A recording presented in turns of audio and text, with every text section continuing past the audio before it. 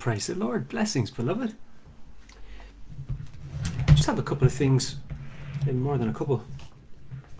Um, a number of things that I'd like to address. Um, currently, there's a case ongoing before the High Court. Um, it's a challenge to the constitutionality of um, the sections under which um, I have a, an eight month sentence. It's come to my attention that even a person who does uh, commits manslaughter may not necessarily get a prison sentence, but a street preacher gets eight months. So speaking just on pr- proportionality, um, it's just it, it seems that there's kind of a, a, a gross um, uh, disproportionality to it. Um, so let's start. In terms of offence, um, insult, a guard is called many names in the course of his work. There are a couple that I will not repeat that are commonly used, a number of names. Um, and a guard is kind of expected to have what's known as a thick skin. Would be like, you know, if you were overly sensitive, easily offended, maybe being a guard wouldn't be the best job for you. Guards are called names of all sorts, but as a result, nobody is arrested on that basis. Nor do they get increased sentences um, whilst in custody because they have freedom of speech. And that does actually include using words that through the course of your day it wouldn't be advisable or deemed proper to use. Now, whilst this is the case, and these words are unnecessary and uncalled for in many cases, um, freedom of speech actually allows for it. And that's why these people aren't brought before the court, as I said, for an increased sentence or sentencing at all, or even a hearing, because there's no grounds. It's come to my knowledge that I am the only person who has been prosecuted under Section 7 of the Criminal Justice Public Order Act and sentenced. The only person ever in the country.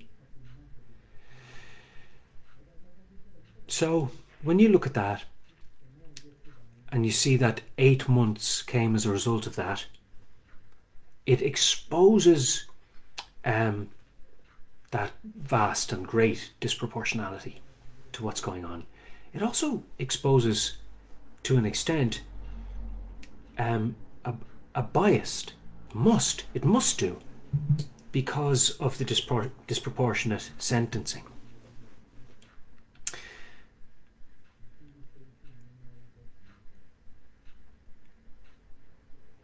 If a judge expresses that the reasoning behind his decision or, the, or how he came about his ruling is based on a personal um, worldview or a personal opinion and not um, as it should be um, based on the law itself or a lawful definition, then what he has done is he's acted so outside of his office in showing partiality when he's supposed to um, hold his office with um, impartiality. So the matter was that the judge didn't personally agree on something, even though it is scientifically proven otherwise. So, bearing that this is recorded in a DAR, um, a digital audio recording of what went on in the court, being that this is a matter for uh, of public interest. This type of stuff is available. If you're interested in the DAR, just get in contact with me. Um, it's the digital audio recording. You can contact me on my personal message. So the judge did show partiality. It is my opinion, and it is evidenced on the DAR, in, in my opinion. Now, section uh, 113 is, is what affords Gardaí to act out of jurisdiction in a civil matter. It, it affords them the opportunity to go and print out a piece of paper and call it an adult behaviour warning. And basically, what it is is a complaint taken from a member of the public of the public about another member of the public. That's all it is. It's like when two children say, Mommy, she said this about me. And it would be the equivalent of Mommy writing that down and signing it. And saying, Right, that's it. You better stop doing that, saying that about her. But I didn't say it.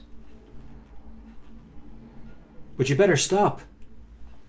Right? And then that's it. And then Mommy walks off. Right?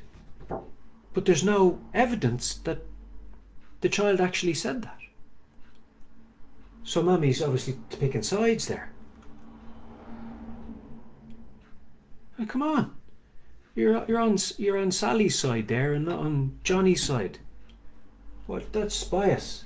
And you've no proof that Johnny actually said what Sally's saying he said, but you're going to write it down and sign it? Sure, that's conspiracy. So, I mean, this is section 113 of the Criminal Justice Public Order Act, I think. Just one second. I don't want to misstate. Excuse me, misstate. Um, public Order 113.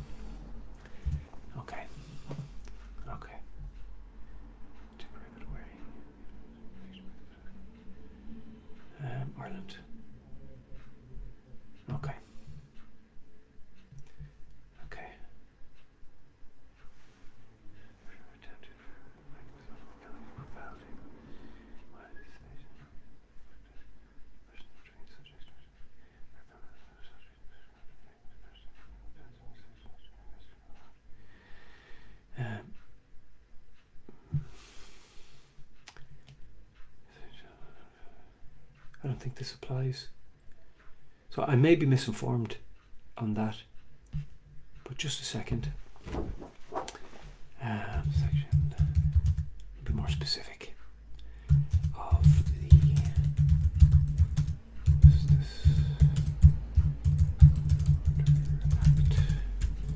see, I can corroborate now. Oh yes, this is it. I wasn't misinformed. I just had the wrong um, act. The wrong act came up. So this is to do with um, 113 in this part. Behaviour warning has the meaning assigned to it under section 114.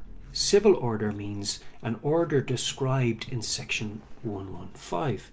Senior member of the Garda Síochána means a member of the Garda Síochána not below the rank of a superintendent.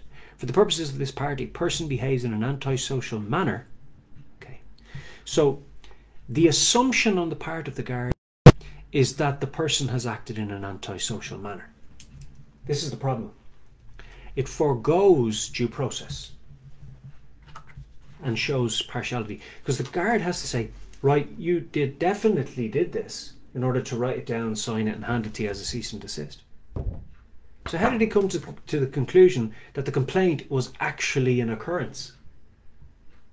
Without even going to the court or employing any lawful reasoning or measures, such as the presumption of innocence. He has to, he has to presume I'm innocent. Uh, Sally said, so Johnny's wrong, automatically. But sure, this is this is basically unlawful like children know this stuff. Like, how are how are very well paid solicitors and judges and legisl- legislating bodies allowing this stuff passed when it's so simple that children know when this type of injustice is being done? But I didn't say that, Mammy. Well, Sally said you said it. But but I didn't. So what? So so by what means? But what's the measure of investigation? What would Mammy have to do to establish that Sally did it? Well, she'd have to at least investigate it. So Mammy would have to have some solid, irrefutable evidence that this occurred. Wouldn't she, surely? Certainly the guards have to. I say, Sally, are you telling the truth now? Right, she might test her a bit more. Sally? Now, because Johnny can get in trouble now if you do this. You sure now he did this? And, like, the thing is, like, Mammy would probably not be in the room at the time. Like, it, it, it wouldn't be something happening out in, in the public where there'd be, like, an expectation that what the person was doing was lawful. Like, do you know what I mean? I'm using a simple analogy. It can't be used all the way through. But just on the basis of assuming that what somebody said is true just because they said it is absolutely ridiculous. Unless it is the Word of God. Because men lie. People lie. That's why we have certain measures in law to investigate. If people didn't lie, there'd be no need for investigation.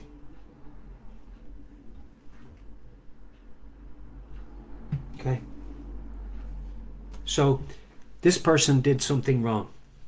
Right, so, this person did something wrong, whatever it is. This person did. Okay, what is it? Member of the public? Right guard said, right, okay, adult behaviour warning. Signed Garda, uh, not paid enough. Right? Garda not paid enough. Okay.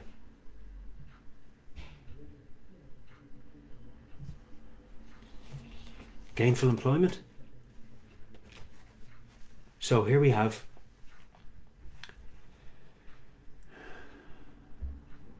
a mess. Here we have a adult behavior warning. Take the complaint. Sign it. You better stop doing this, mister. Do you hear me? You better, it's like a comedy sketch, except it's serious and very wrong. You better stop doing this, do you hear me? Here's your first one. But I, did, like, what am I doing wrong? I didn't do anything wrong yet. You haven't proven that. You can't, you can't tell me to stop doing this. I'm per, it's what I'm doing is perfectly legal. If, if what I'm doing is wrong, why aren't you arresting me?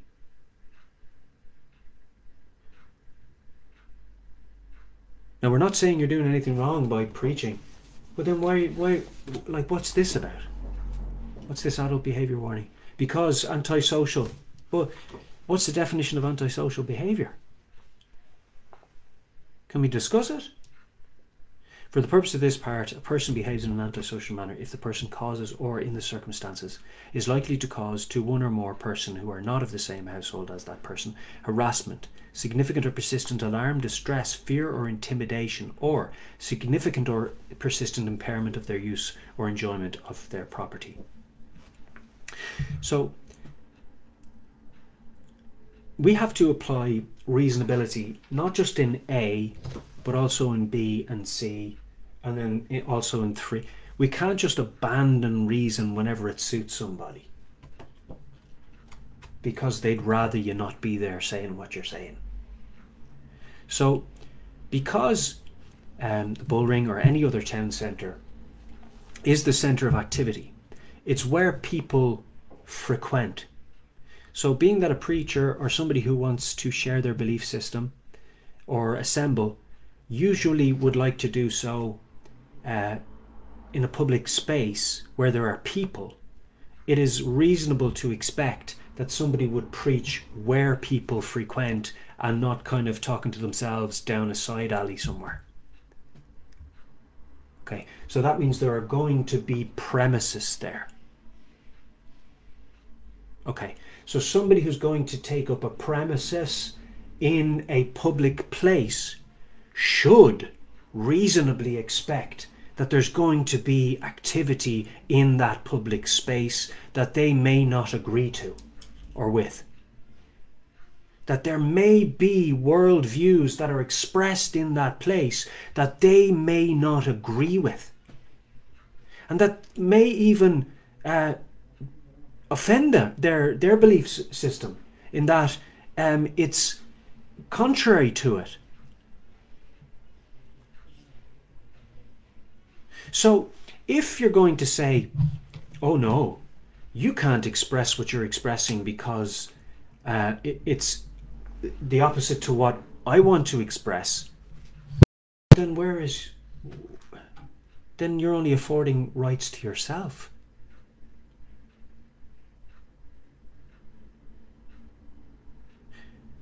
Is is that in line with the Constitution? Is that not hypocrisy? Where's the inclusiveness? Where's the diversity? You see, God Almighty has given us a dispensation of grace where we can have a Christian worldview or not. That's how it's able to occur. That's the only reason it's able to occur that you can have a, a, a viewpoint that's different to mine because of the dispensation of grace. That's my worldview. You may not hold that worldview. I'm not going to try to remove your ability to have your worldview simply because I don't agree with it.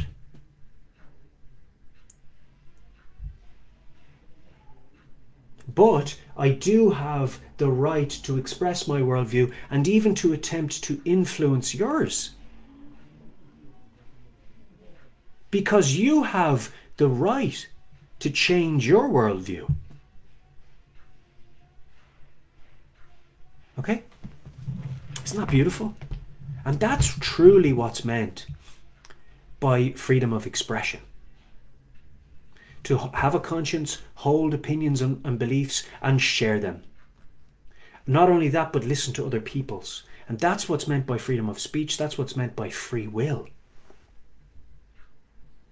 Now, all things are permissible, but not all things are beneficial, and that's a different conversation. But for the purposes of uh, dealing with Section 113 of the Criminal Justice Public Order Act,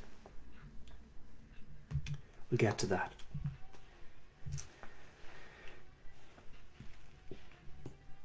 Now, often they'll say, well, you have a right, but it's not an absolute right. And of course, they like it's how far can they extend this? Just because your right isn't absolute, uh, we can determine just how much of that right you have. No, that's not really how it works because law has to be clearly defined, and that's why uh, law is clearly defined usually except in this Criminal Justice Public Order Act, which they're trying to bring in everything in under to usurp authority over the Irish Constitution when it was put in place in the, in the beginning against drunks. It was brought in under the Intoxicating Liquor Act.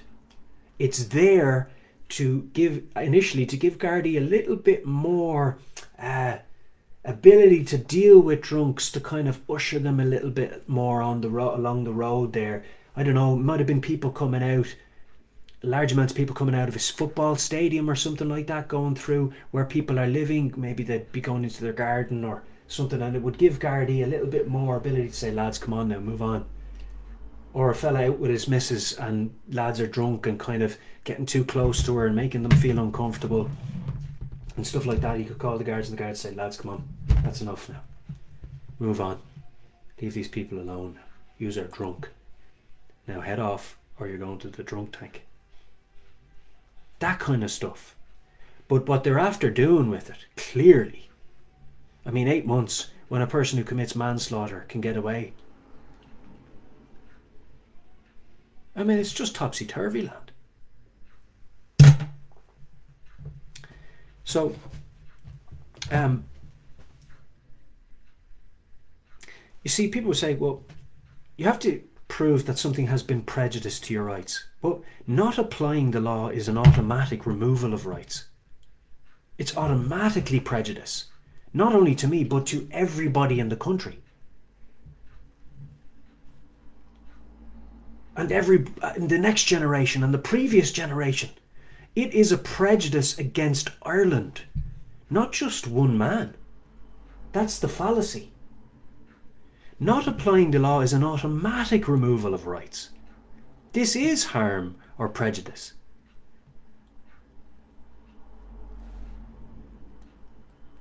They say, oh, well, look, sure, the guard can throw as many adult behaviour warnings at you as he wants.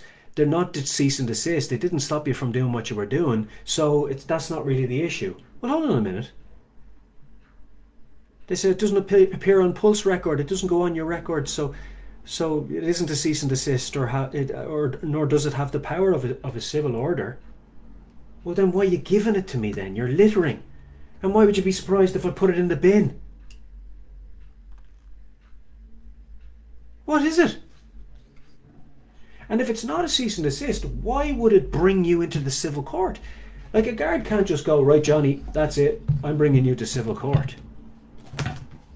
Unless he's out of uniform and you've done something on him. Then he can make an application to bring you to civil court as a citizen, but not as a guard. That's not his jurisdiction, folks. So, in case you didn't know, Gardaí cannot operate in civil matters. They operate in criminal matters. They have no jurisdiction in civil court. That's for citizens. One citizen can take another citizen to civil court. Even the idea that a guard would represent somebody in civil court is a complete undermining of law. Like the very basics of law, like the fundaments of law, like the divisions of law, the sections of law. Like it's such, it's so unlawful that it's just an offence against the entire law. Do, do you not see what I'm saying? But they don't want to have a conversation about Section 115 because they say it's so insignificant. I say it's probably the most significant matter at hand. Because it enables a guard to bring somebody into civil court and represent another person against them. They say, well, sure, well, it's just civil court, it's only a civil order. Did you not know that if you don't keep a civil order that you are a criminal? So it doesn't matter how you arrive at criminalising somebody if you have to leave your jurisdiction to do so. You're criminalising them unlawfully. How did you how did you come about that? Well, you had to you had to break the law to come about it. Therefore, it doesn't stand. If you have to break the law, if you have to leave your jurisdiction in order to prosecute something, you've already broken the law. So what? Who can afford you the power to break the law? Who's this legislator? What's his name or her name? What's it, who's who's given them the ability to, to, to dispense with these legislations that are undermining law? What's going on? Not applying the law is an automatic removal of rights. Did you not know that? Automatically, it's prejudiced.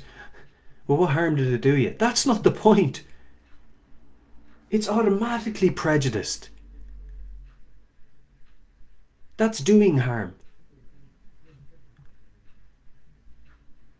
Not applying the law is an automatic removal of rights. This is harm to the Constitution. This is harm to the state. A judge must hold his office, or he is harming his fellow man.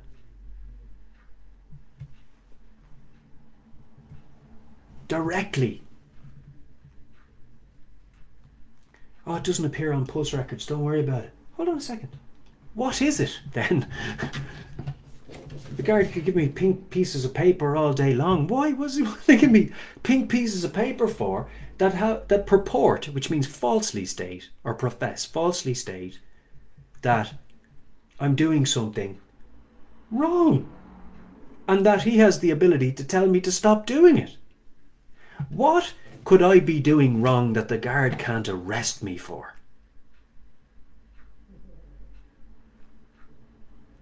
That's the real question.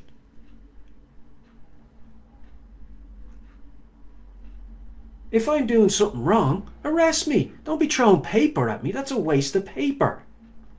chuck me in the car.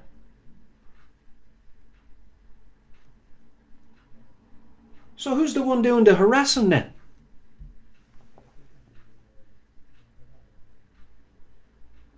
Significantly and persistently. All right, first one didn't work. Right, what's your name? This is the second one. What second one? What? What do you mean? Were you talking to the guy the other day that gave me the first one? Is that not conspiracy? These are unrelated matters. Adult behaviour number one. Well, how did you know that I, I was on adult behaviour number two? Who were you talking to? Was it on my file? I thought these were only confettis and they're not on my pulse record. Who was recording them then if they're not on my pulse record? And how can you get number two? And how does number two relate to number one if a different person is making the complaint?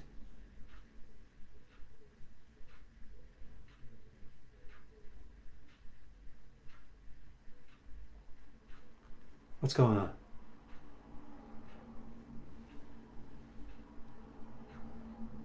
Number one, adult behaviour one. Write down the complaint, sign it. Right, Garda diddly do, with all respect, Garda diddly dee on the second form, and a different complainant. Well, were the complainants talking with each other? So these are if they if they weren't talking to each other, it's not conspiratorial. If they were, then it is. If they weren't talking to each other, then why is this adult behaviour warning number two when the, both matters are unrelated? If the guards weren't recording it on Pulse record, how did they know it was adult behaviour number two? And if they're if they did know it was adult behaviour warning number two, that's because they conspired. So either the public are conspiring or the guards are conspiring, or both. In which case, how do two non cease and desists amount to two if they're unrelated matters on separate days? And need to be treated without bias, with the presumption of innocence and impartiality.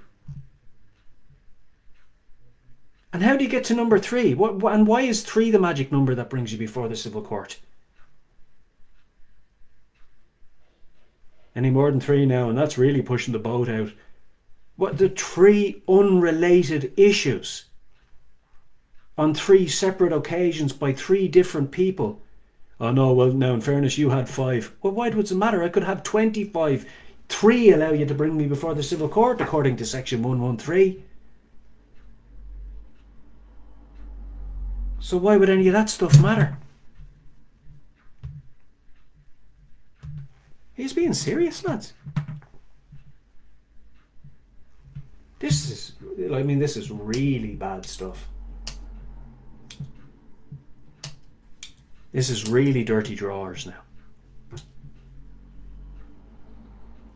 And it needs to be addressed and cleaned up quick.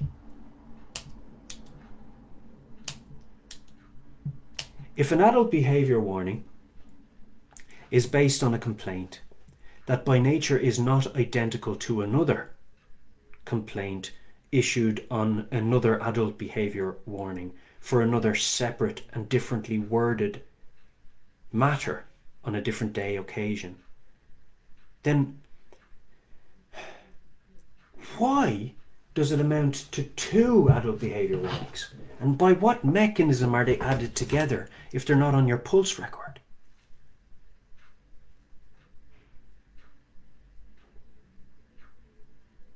They're accumulating. How? How's that possible without being biased and conspiratorial? Even in the absence of due process. They're putting these things together. Oh, yeah, but that's definitely antisocial behavior. So's this. All right, they're both antisocial. Put them together.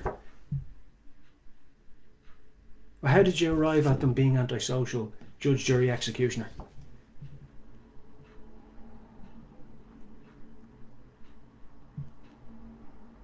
By what measure and standard, according to what lawful definition? You're making it up as you go along now. And it doesn't even make sense. You're abandoning logic and reason and the fundamentals of law, folks. Where do you think that's headed?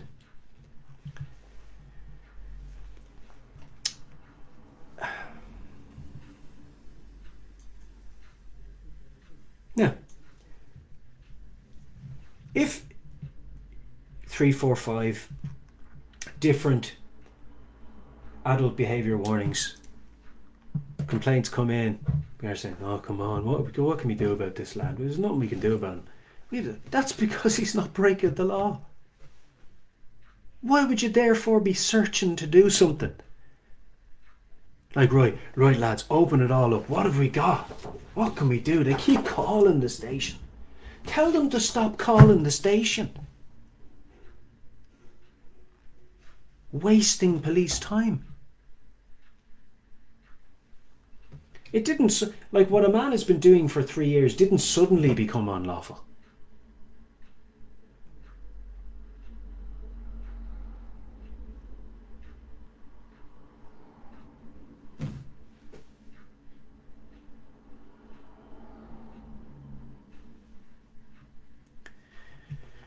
And they might say, well, that's the consistent, persistent part of it, is that, that uh, no. It has to be unlawful to begin with. If it's not unlawful to begin with, how devoutly a person does it is irrelevant.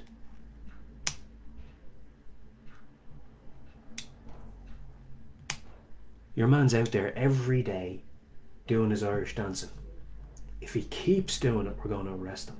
He can do it Monday, Tuesday, and Wednesday, but if he does it Thursday, that's it.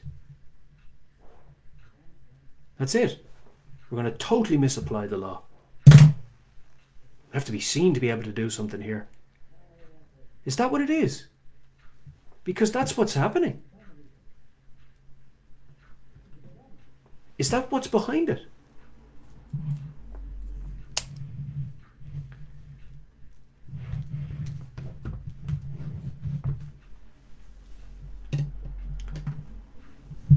Right. Moving on. So that's that aspect of section 113 and that's that unlawful nature of it exposed to that extent. Let's continue to do so. It says, oh, by the way, section 113 brings about section 115 unlawfully. Somebody might say, well, it's been through the court, so functus officio.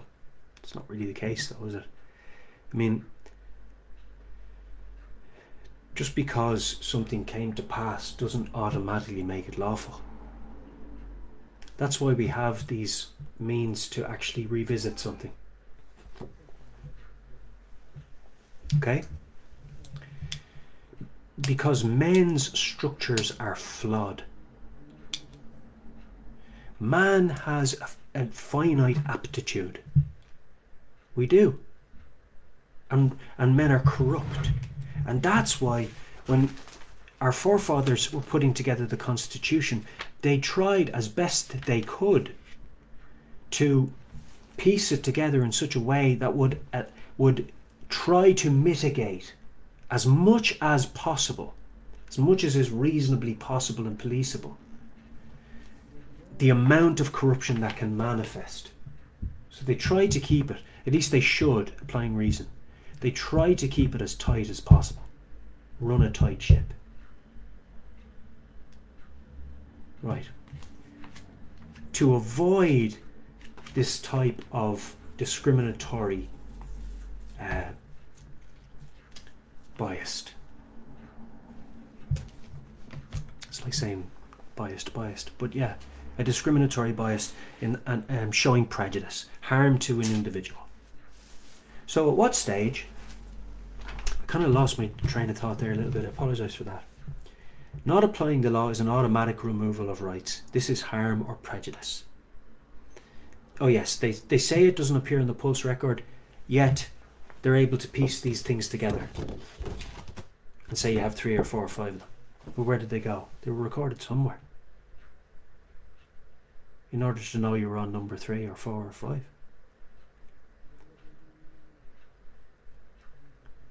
Now, if something doesn't have a cease and desist power, why would you expect somebody to stop doing what they're doing as a result of it?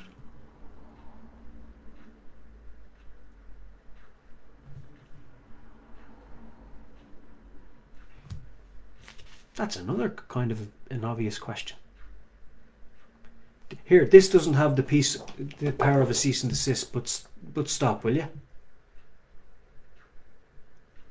Here, we haven't gone through due process, but here, take this piece of paper and hopefully this makes you stop. Will you stop, will you? Now, this is number two now. We're not recording this, but here's number three. Will you stop? Cease and desist, maybe? It's not a cease and desist, but cease and desist.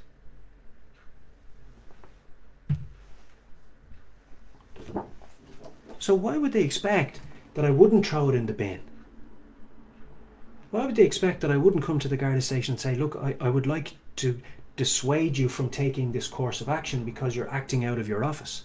You're acting out of jurisdiction here in, tr- in telling me that you're bringing me to the civil court to prosecute uh, me on behalf of a member or members of, a pub- of the public. Doesn't matter how many there are. The point is that you're favouring them. Even though their complaints were totally unrelated and happened on different days. You can't show reasonable suspicion. So here, here what's happening is a conspiracy, a conspiracy, and it's being allowed to, to accumulate and come before the court. It's not only a conspiracy on the side of the public, but also on the police. On the side of the police. Because they're piecing these two separate inc- incidents together as one accumulative uh, matter. And then acting out of jurisdiction. I mean, lads, it doesn't make any sense. It's a total misuse of the of the law. It's total misuse of the uh, function of the court. It's a total misuse and denial of our rights, as would be reasonably ex- expected and accepted. So, well, who would I be if I didn't follow the correct channels and do this exposition? What use would I be to my fellow man in that in that um, aptitude in that in that position as a citizen in that office? Do you know that citizens have the power of arrest? That if they see somebody breaking the law, even if they're in a uniform, that they have the power to arrest them? How do you tell me? How do you do that if the courts are in agreement with them? How do you how do you make a citizen's arrest and bring somebody before the court if the court are in agreement with them doing it? Is that seditious talk? No, it's a question.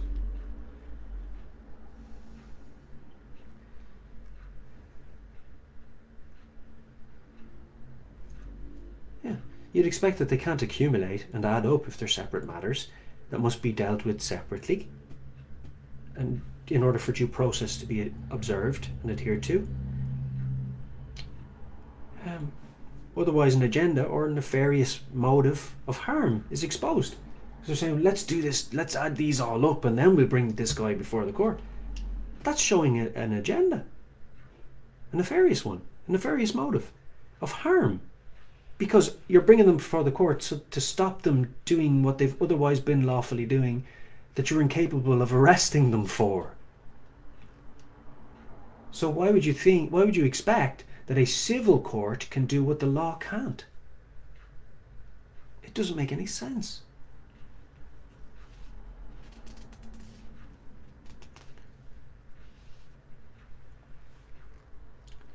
Yeah, it's it's a dis, it's a disregard for presumption of innocence and due process. I've said this a number of times.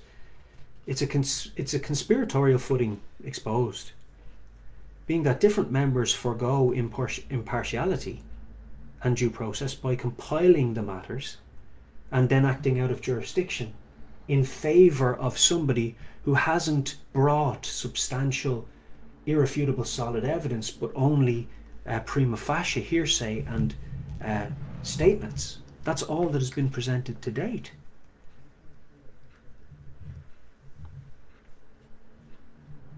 It shows further bias, doesn't it? By ignoring your lawful entitlement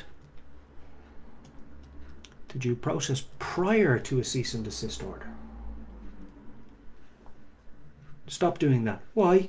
Is am I breaking the law? No, you're not breaking the law. But stop doing it. Here, why? Guard, you have to keep. You have to let me keep doing this. Because I'm not breaking the law. If I'm not breaking the law, then you like this could go. This could turn into harassment if you keep telling me I can't do what's lawful. Right, that's it. We're bringing down adult behaviour warnings. So you're telling me in advance you're going to start giving me adult behaviour warnings, plural.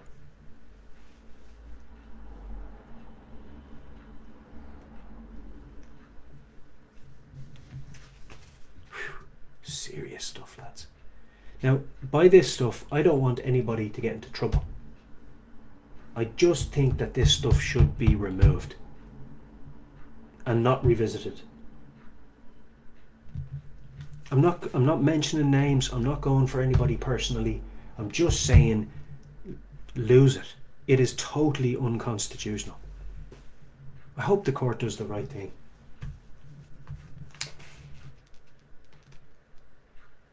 You know, being like they're saying, well, what? So the law is basically the law is there to prevent one man doing harm to another man. That's what the law is there for, lads. Harm, like actual harm, actual measurable harm. Not stuff that's based on opinion. That's not that's not deemed harm. It's not. Like if somebody says da da da da da and you go, oh da da da da. Ugh, don't agree with that. That's not what they said is not considered harm by law. You see what I'm saying to you? By the laws of the land, that's not considered harm. Say, oh, don't do that. Brrr, guard, he said da da da da. All right, that's it. Ah, come on. Should the guards hear worse in the, in their in the course of their day than anything a preacher can say, um, contained in the Holy Scriptures, or his opinions of abortion or paedophilia, or um, pretty much things that have been historically deemed to be immoral behaviors. It's not like something that's new. You don't have to agree with me. You don't have to agree with me.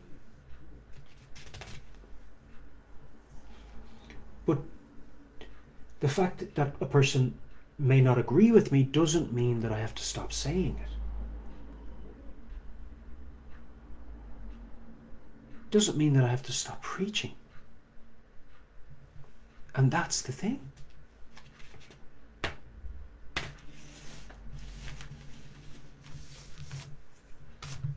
Now, if the only thing you can do is say, ah, but three years.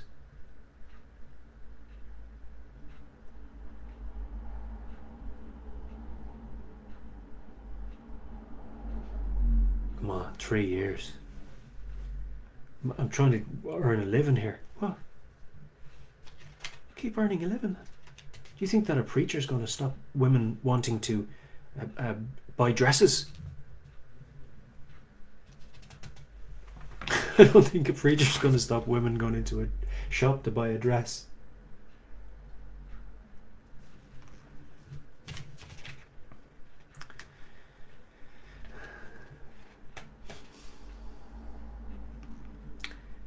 Section 113. What's it say? Being summoned without reason is incurring harm. It is incurring harm because it takes up your time. It is incurring harm because it is a removal of liberty. I wanted to go and play golf that, at that time. I wanted to go and be with my daughter at that time. I wanted to go and say a prayer at that time. I wanted to go and get a haircut. I wanted to go down and have a walk on, the quay. I wanted to go on my scooter. I wanted to do some exercise. I wanted to go to sleep. And you're telling me, I wanted to go do a lot of things there, but you're telling me that I have to go here. Right? You're telling me I have to go to the court. You're summoned. That's incurring harm. Being summoned without reason is incurring harm. Already. So that's why if there's no reason for me to be summoned, I'm not going. Because it shows. It's like if you you're, you have to be an example to the next generation, not after the fact say, oh, well, what they did to me was wrong, but I went. Why? Because you were a coward. Because you're a coward, you went to the court, even though you knew they were doing wrong. No! That's not going to happen. But at the same time, I'm easily imposed upon. I'm not a violent person. So do you see how they're not the same thing? Not being a coward doesn't mean automatically that you're violent. But meekness doesn't equate to weakness either. Do you see how that works?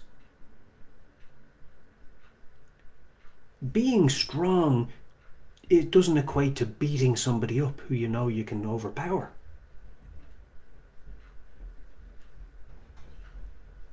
Leading is to serve. And the best way I can serve in this instance is to not show up to court for silly summonses that haven't been established by reason by reasonable um, what's it called? One second The computer shutting off by reasonable suspicion, etc.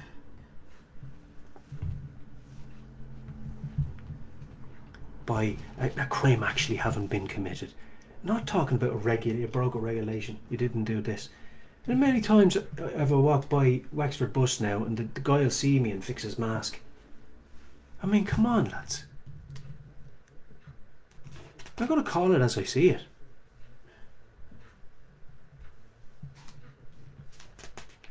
I'm not afraid. Like, I'm not going to hide behind the facade.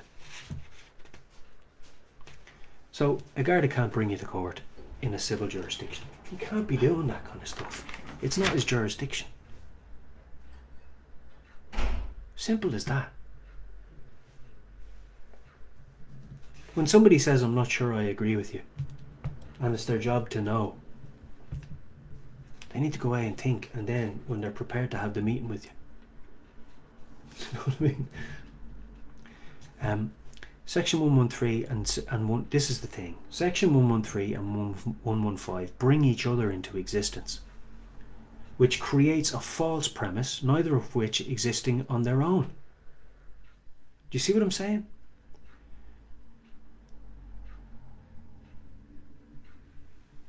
And it's like, it's not this, it's that. No, it's not, it's him. It's like two twins and you don't know which is which. And they're blaming each other for what happened. He did it. No, he did it. Oh, come on. Who did it? Section 115 and Section 113 bring each other into existence. And so not addressing one is not fully addressing the other.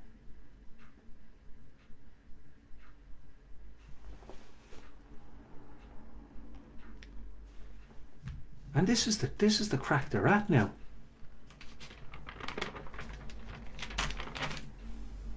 Clever, isn't it?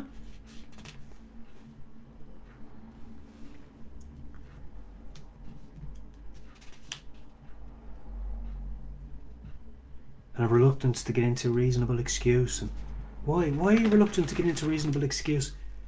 You know, Judge O'Shea, which is the judge who has sentenced me to eight months in prison, eight months of my life behind bars for preaching the gospel, holding a sign, and singing hymns with the name Jesus in it.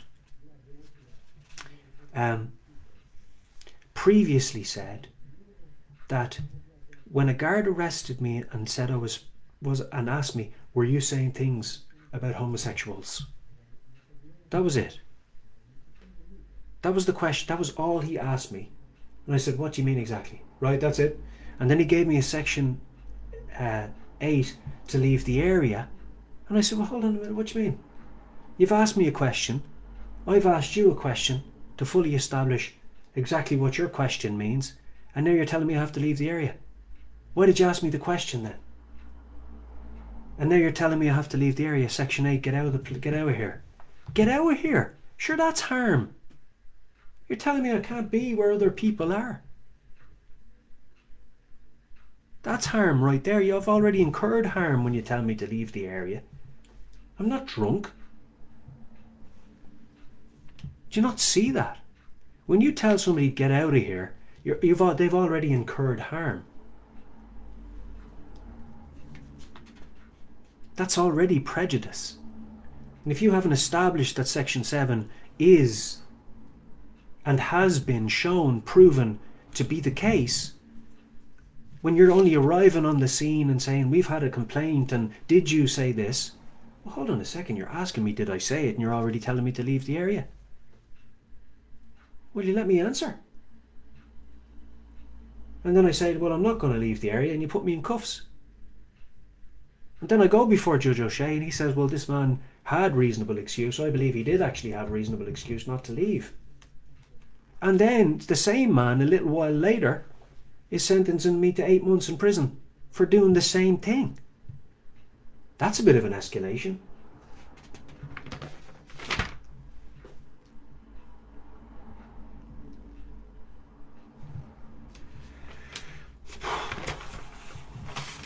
I don't know. So section 113, section 115 and section 7 need to be removed from the constitution to hold and keep the integrity of it. Otherwise, what you have is something that can be manipulated and misused to target certain worldviews that the general narrative doesn't approve of.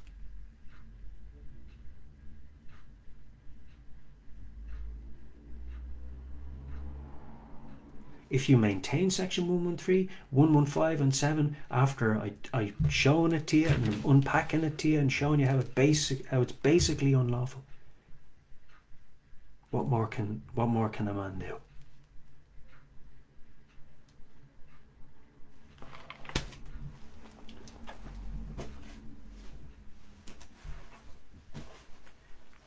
Now, even when they ask me to do silly things, like stop doing this and stop doing that, I'm not a silly man. So I know I can be more productive when I'm not in prison than I can be when I'm in prison. If I was in prison now, I wouldn't be making this video. So I'm because the Bible tells me to make the most of my time because the days are evil, I'm here doing what I'm told by a court that is acting unlawfully.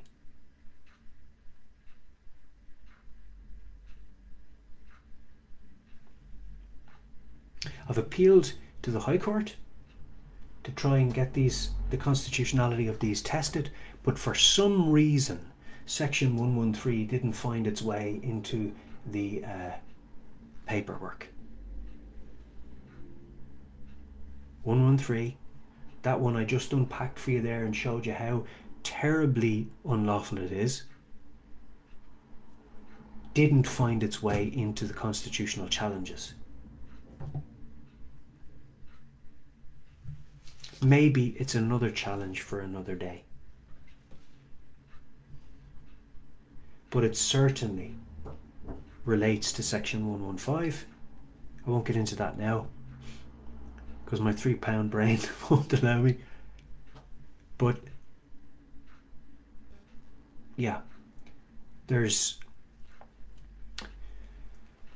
there's a lot in it. I mean, it's it it fundamentally, and I, I repeat this time and time again, it fundamentally denies the basic mechanisms of law.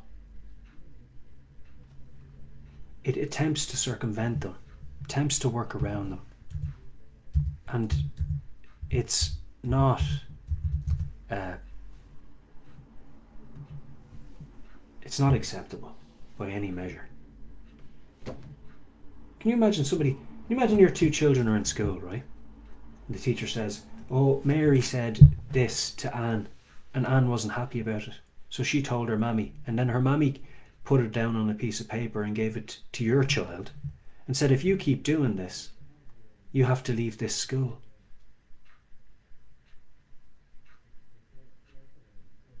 Hold on a second. The, the child of the the parent of the child who received the letter from the mammy of the child who said she said something will be saying, well, how do you know they actually this actually happened?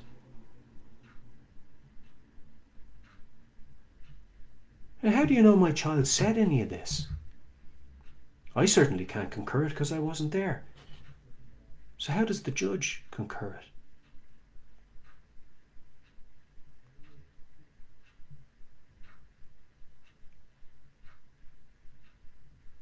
How does he concur it? How does he ratify it as being true? All he's got is hearsay. All he's got is prima facie evidence. How can he establish whether somebody's distressed or not? Is it if they put on a face like this? I'm distressed.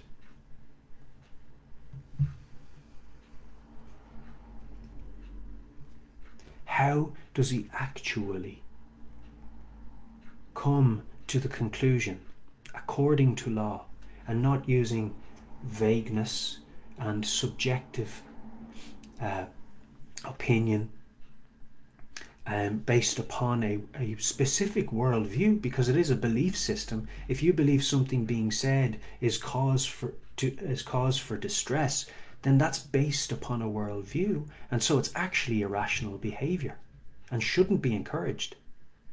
If somebody's worldview is distressing to you to the extent where it will interfere with how you can work or whether you can look at that person or not, you're actually discriminating against them on the basis of their worldview. It was said in court about me that my appearance caused distress. Is that not discriminatory? My appearance, like, I come around the corner, I see him, and I actually feel ill. And that was admitted to the court. So this is the kind of stuff. That's I mean that's not that's that shouldn't be encouraged in society.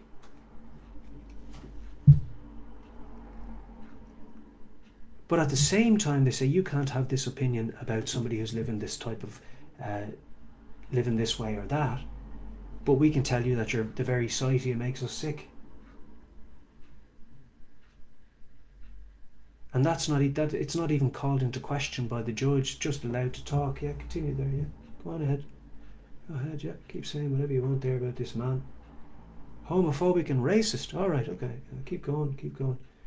I had to ask, when it came to my time to speak, I had to say, you said I was racist there, right? Because I understand there's like an irrational, there's an irrationality behind the word homophobic.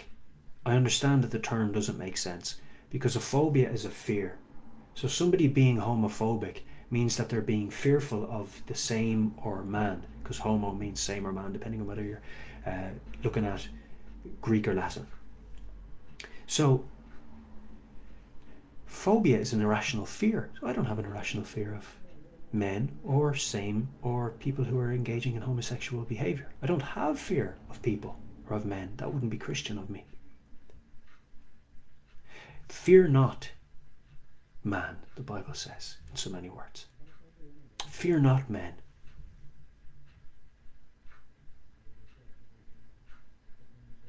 Okay?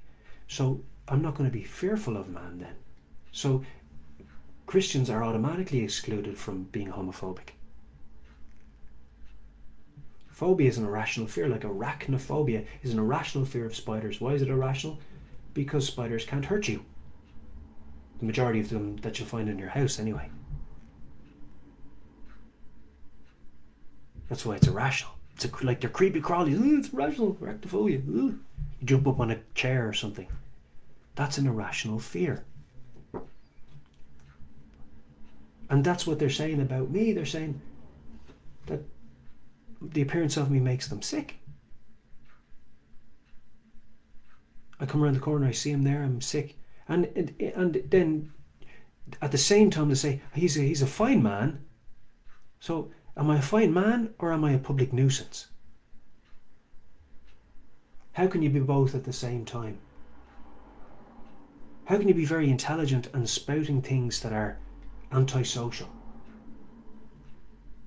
So there was just, there was a bit of a conflict of what was being said in what was being said. So this is all in the dark the reason I'm getting into such detail on this is not because I hold any grudges against anybody. I totally, I totally don't. I totally forgive anything anybody said about me that's defamatory, anything like that. I'm not going after anybody. I'm not taking up any cases for libel against the newspaper or slander or defamation, anything of that sort. I love you and I want what is best for you.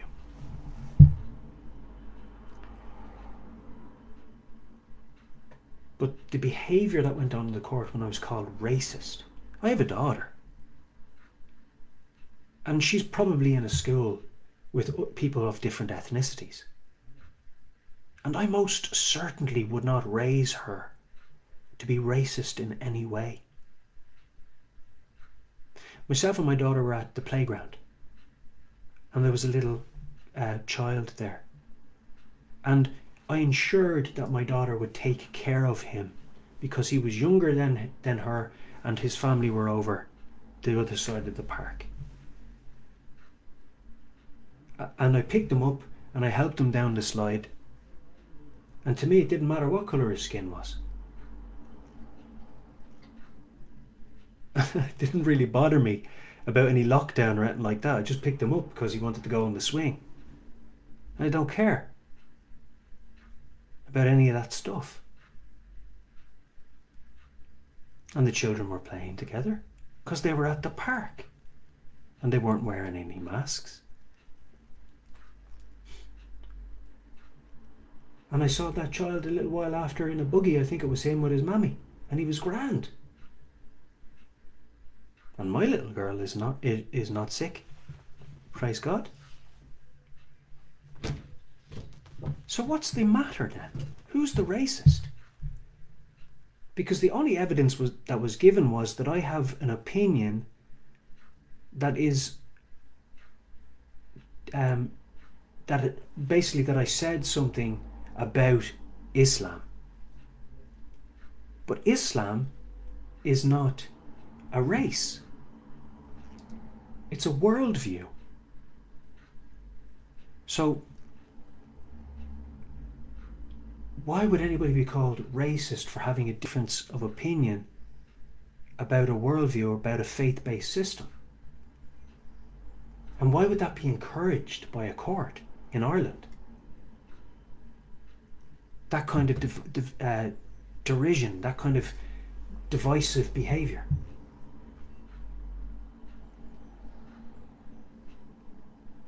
And so when it came my time to ask questions, I asked the judge specifically, such and such a person said such and such about uh, me being racist. I said, because that can be considered a defamatory statement, a slanderous statement, or could harm my, my, my good name, so to speak, because none are good but God alone, but my good name as it pertains to law, to use the wording. If it would affect my good name,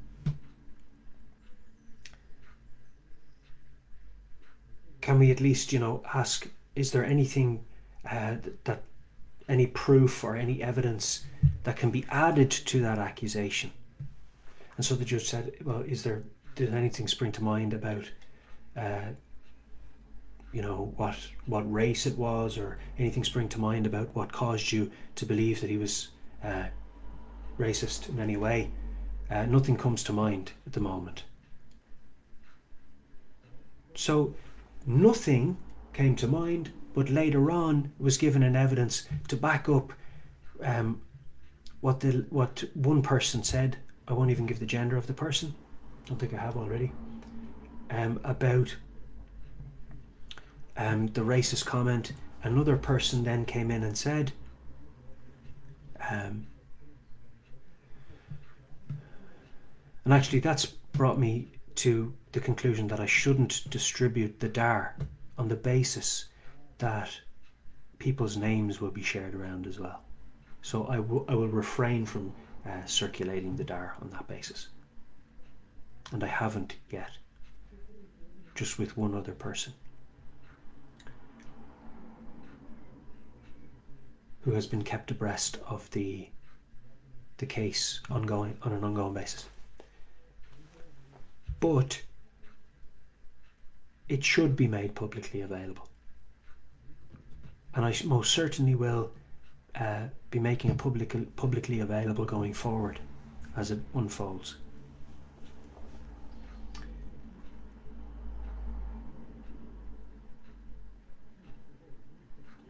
I'd much rather it didn't happen. But another person gave evidence um, and tried to uh, back up what one lady said. Um, and said, "Oh, uh, Miss Tom was talking about masks and how it looked like uh, Islam." And you see, obviously, I'm not deterred from from talking about these types of things because I'm absolutely no harm to anybody. Since I've actually had a conversation with a, a Muslim man down the quay. Yeah, we were chatting about different worldviews, and that's a beautiful freedom we have in Ireland, that we can coexist here and have differences of opinion and have different worldviews and different faiths and still live amongst one another peacefully. Insofar as we're not trying to threaten each other with violence and we're not trying to do this and we're not trying to do that, we can even work together in the same place and mind each other's children and children go to school together and all that kind of stuff can happen because of the, of the nature of the constitution we have. Praise God. So, because I don't agree with the Islamic faith, doesn't mean that I have anything against Muslims.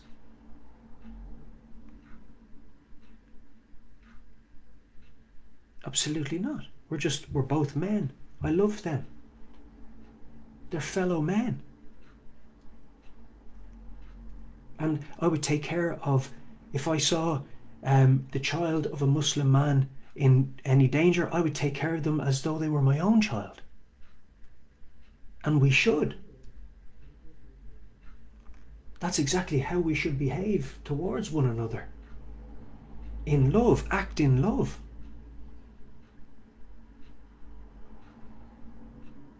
At all times. And this is exactly the message of Jesus Christ. Love one another. Love one another. Loving one another doesn't necessarily mean that I have to have the same worldview as you. But I certainly do have to obey Jesus. Because he's the boss. And he knows best.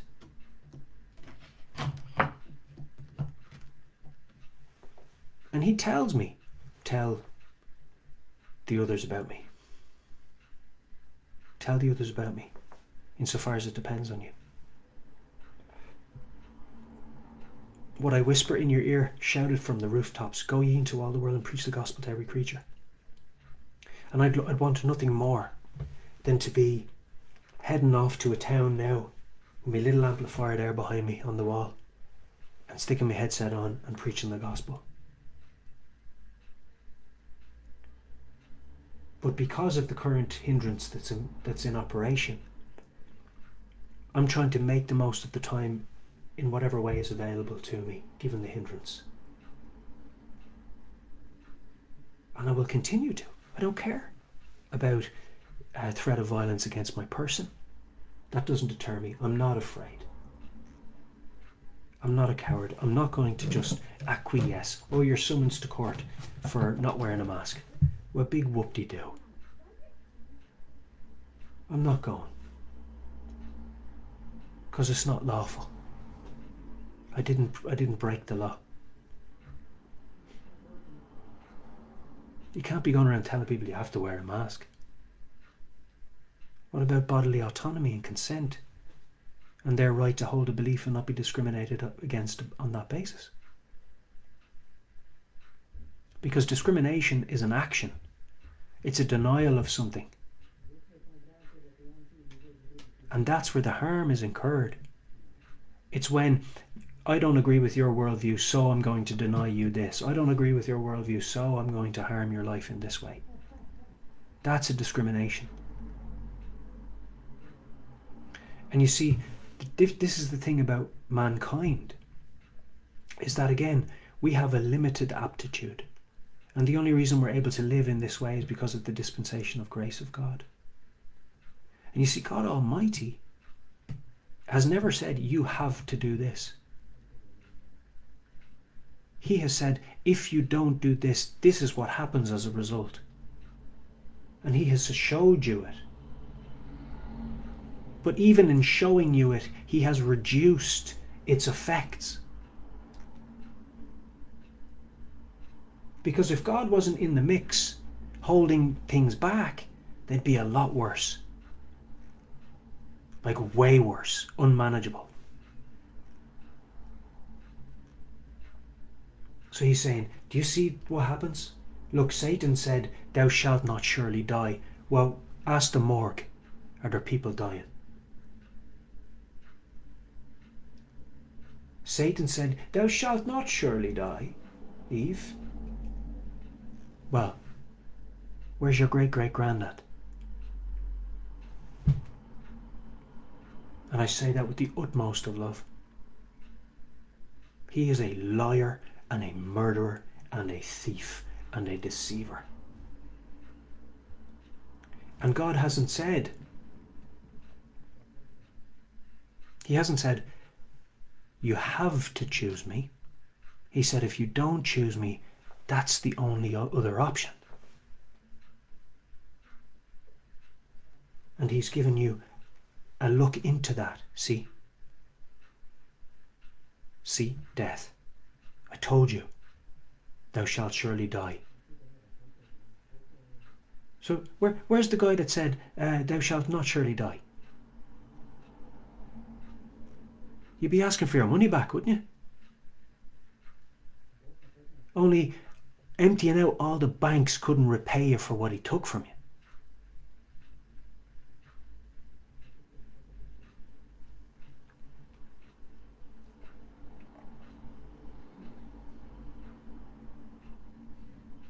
But Jesus can give you life. Despite all of this, he has actually gone and paid the price for and said, I will pay it. Now come follow me. Come trust in me. Because the other fella's shown himself to be a liar. Come follow me.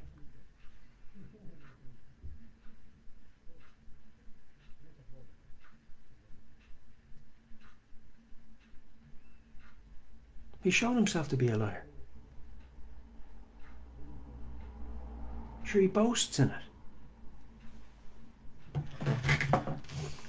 But Jesus said, Follow me. Come follow me. Put your faith in me and come follow me. And I will set you free. I will give you everlasting life. Now, if you do that, then you pass from death to life and you will inherit everlasting life. The Bible says, Come, um, let, let any man who wants come and drink from the well of eternal life. That is Jesus. That is faith in Jesus. Amen. So I say to you this day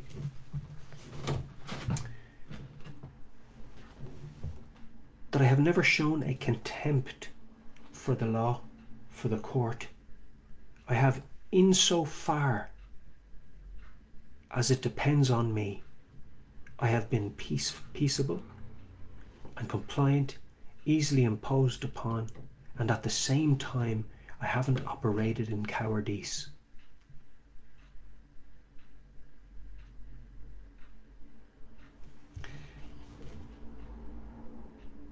And I will continue to do the same because I love you.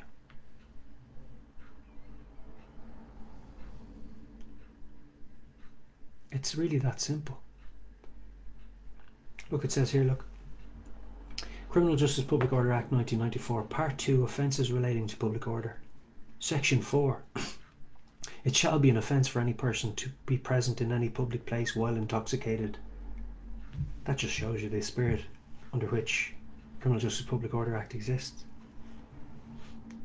And then it shows you in Section 5 it shall be an offence for any person in a public place to engage in offensive conduct. Now, look, between the hours of 12 and 7 a.m.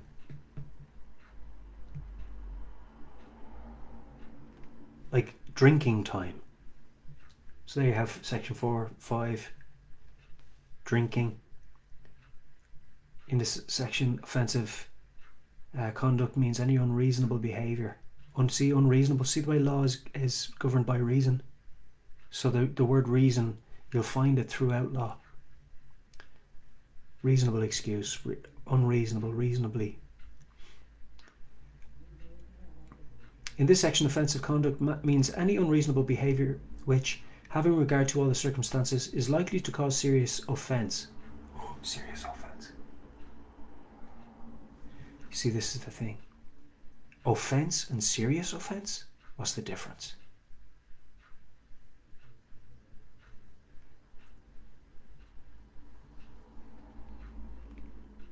Is it you shouted a bit louder and hurt my ear? Would that be seriously offensive? Now we're headed into nonsense land. Do you see it? That's seriously offensive to me. Okay, that's seriously offensive. Because that's the way somebody might react or behave in that circumstances. That's the posture somebody might take. I've seen it, I've experienced it. That's offensive to me. Or serious annoyance. So here we have two spirits that a Christian shouldn't operate in annoyance and offense. So, what is it doing? It's actually giving power to the spirits that are not in keeping with peace.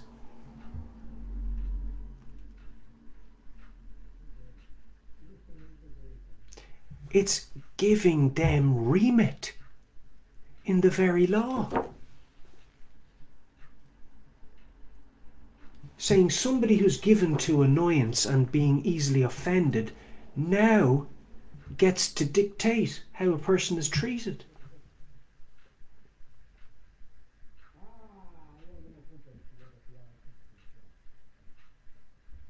Do you see how that works?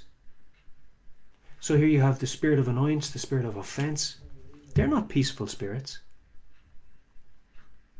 So it is that the person who's given to those spirits, who is the one who is breaching the peace. Yeah, it is. Because they're the one bringing those spirits into the mix.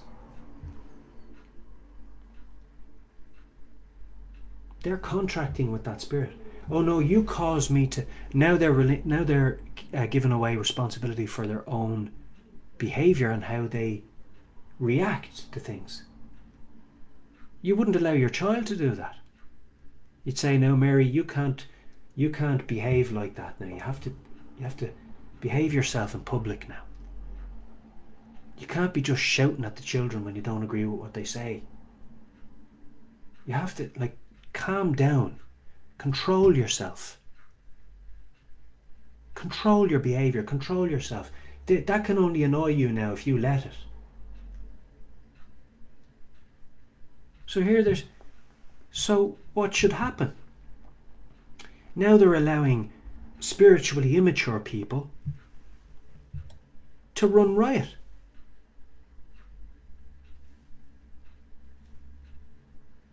I found that offensive, I found that annoying. We can't allow those spirits to have any dictatorship or any purchase. Otherwise, we're not actually upholding the peace. We'd be upholding annoyance and offence.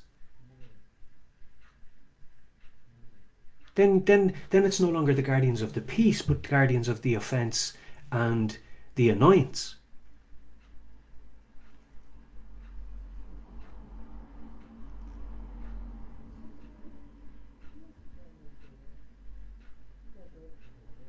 That makes sense to you? It should do.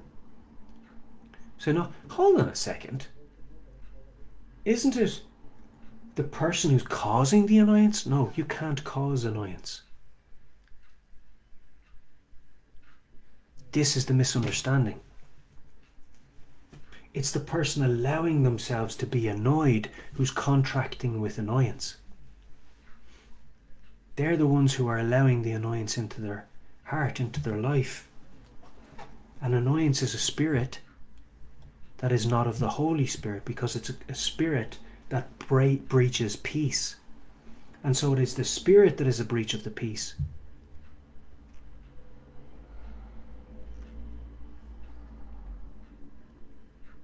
Well, hold on a second. Let's be reasonable here.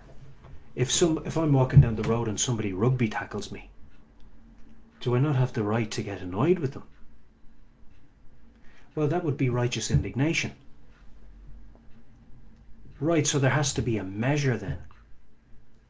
Okay, well, let's outline the measure. Let's define the measure. Because it hasn't been. And there's the insidiousness. The insidiousness is the vagueness. It gives opportunity for those who would be given to annoyance and who would be given to um, what's the other thing? Offense, which is a spirit. I'm offended by that. It's a, it, it, there's no peace in those spirits. They disrupt your peace, and that is that's slavery. That's spiritual bondage. That's true imprisonment. The person who is given to those spirits is the one who's in spiritual jail. Oh, she has a quick temper, he has a quick temper. Should we let them dictate the running of society then? Those loose cannons? That's what they used to be referred to. I'm not trying to attach a stigma here. I'm trying to show historically how things would have been um, categorized and dealt with by people who would be operating reasonably.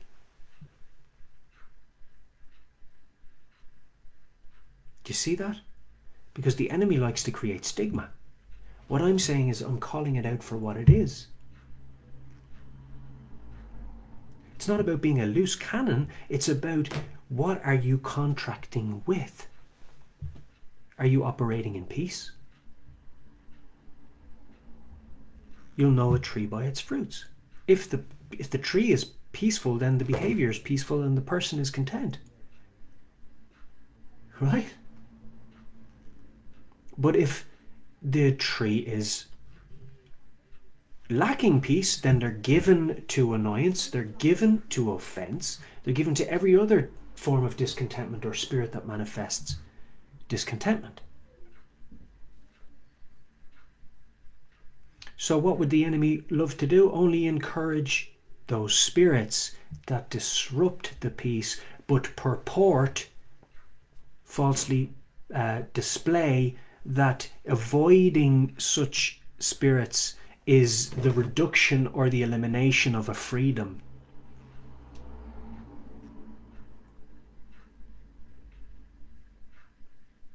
So you take away the freedom, then we're not annoyed, and this and that and the other thing. So that's a spiritual land grab. It's the spirit pushing the right away. Do you see that? Annoyance is saying, no, we don't want that. You're not allowed that right. It's annoying. It's offensive. And they're pushing it away. Hold on a second. I'm peaceful. I just want to say this to you. And then I'll go home. And you'll go home. And there'd be peace. You don't have to stay here if you don't want to. You see, if the court said well, Mr. Talon, you're there seven days a week. We'd rather you were only there four. Well, then we can talk. That's workable. And I don't go to jail. And we would prefer you did it this hours of the day. Right, grand. Will you let me on the bus so I can go somewhere else as well?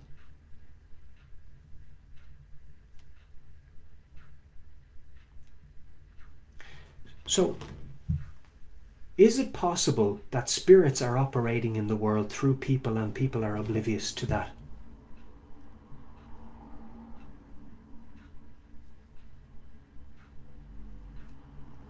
Isn't that what's meant by deceiving the nations? Wouldn't that be a, a component of it? My people perish for the lack of knowledge. So it's this type of teaching and edification that actually builds the church because people wake up, say, Oh, is this really going on? Is this an actual spiritual warfare? Is the enemy trying to pull a fast one here? Is the devil trying to actually get in there somewhere? Did Jezebel help him to get there? Has she been recruiting beautiful, intelligent people and using them to get into positions where they can change these sections and influence legislating legislative bodies? Because that's the way the enemy works. The enemy works through people, through spirits inside of people. Uh, what I'm saying is absolutely the truth. This is what he does.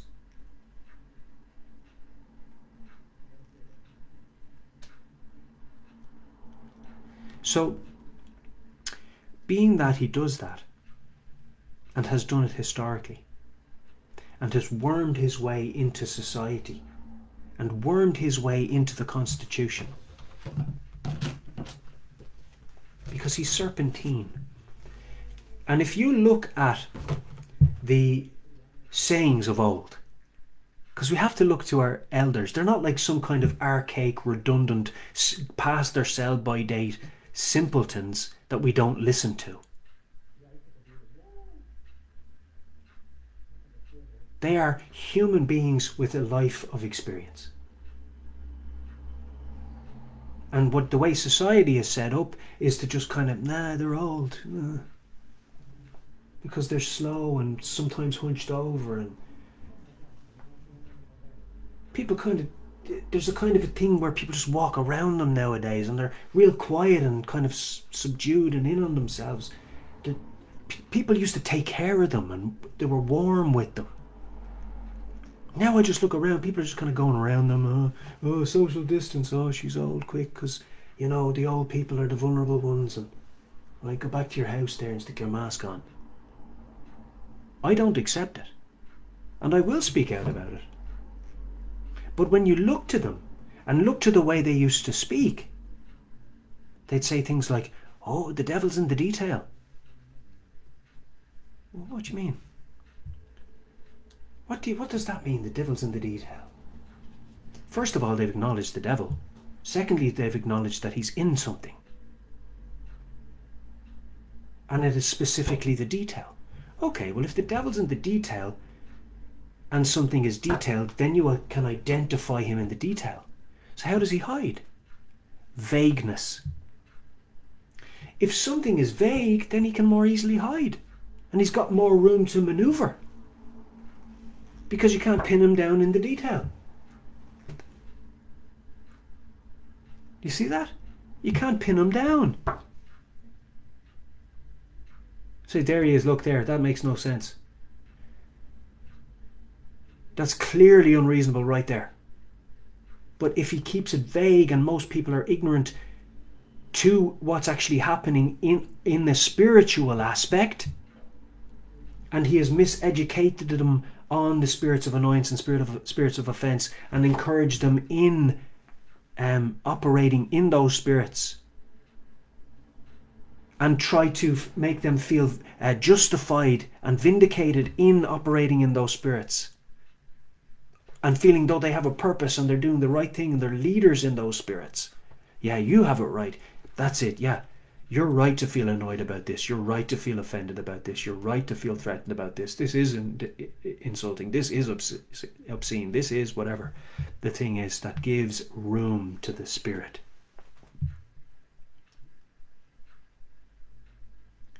So he keeps the vagueness there so that he can move about. So what's vague? Insulting is very vague. So is cause for serious offence. Because serious, when you put the word serious in there, whoa, that really amps it up a bit. But if you just said offence, it would still, wouldn't it, shouldn't it mean the same thing? Unless offence is actually something that is a measurable harm, then there would be like a spectrum. So you'd say, you've got a grade one injury to your muscle or a grade two or a grade three. That depends on the severity of the tear in the muscle. So when you say offense, you would think that serious offense is greater than an offense, incrementally greater, that, that it's a larger offense. but then you'd have to state exactly what an offence what offence means. And then in order for that to avoid being vague, it would have to have an exact definition in law. But you see, nowadays there's a presumption of ignorance instead of a presumption of innocence. And so, because they're presuming that you're ignorant of these things, they're just going to throw them in there and hope that what was what you what they told you on the social media platforms stuck. And so that when you actually read it, you go, "Yeah, that that appears reasonable." Remember what the Bible said: appearing reasonable. But when you actually unpack it, when you actually look at it, you say, "Hold on, that's actually, when you look at how that works and what results of it, no. A guy that did no harm to somebody is doing eight months. Where, like, you see what I'm saying? Has been sentenced eight months. So what's the. Being sentenced eight months and doing eight months, two different things. Yeah. So if if there's a difference between um, offence and serious offence, well, first we have to establish what is offence. That's not done. There's no lawful there's no lawful definition of offence. So why is it even in the wording? What's it doing in the wording? It's not a thing in law. Unless you've committed an offence, oh, that's different. But you see, the word offence is kind of there on the tip of the tongue, and you kind of associate it with law. You think offence, offence. Yeah, offence in the garden keeps the dog in. Sounds the same. Offence. But what does it mean?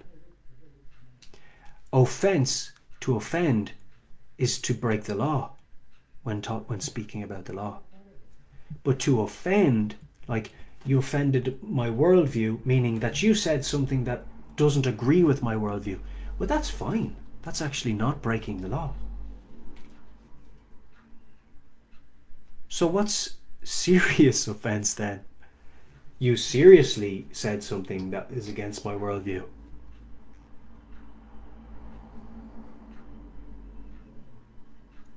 like in all seriousness.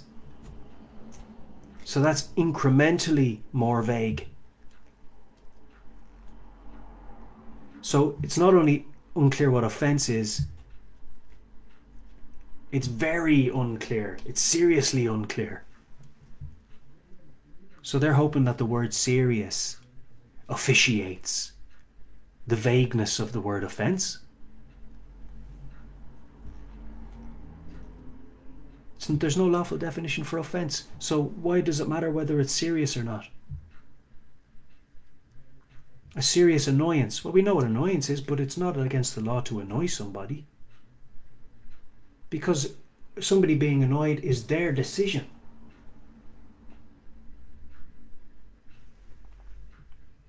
Somebody say, you know, somebody can do something. You say, that please don't do that.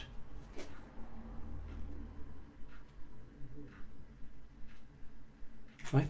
But if a person is given to annoyance, their reaction would be disproportionate. So you'd say, Mary, stop doing that, or you're going to your room for an hour.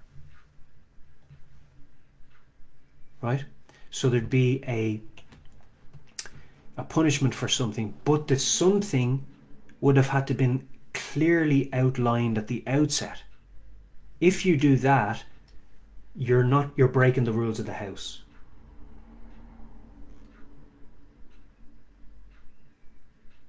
Then Mary would know, so you could hold her accountable.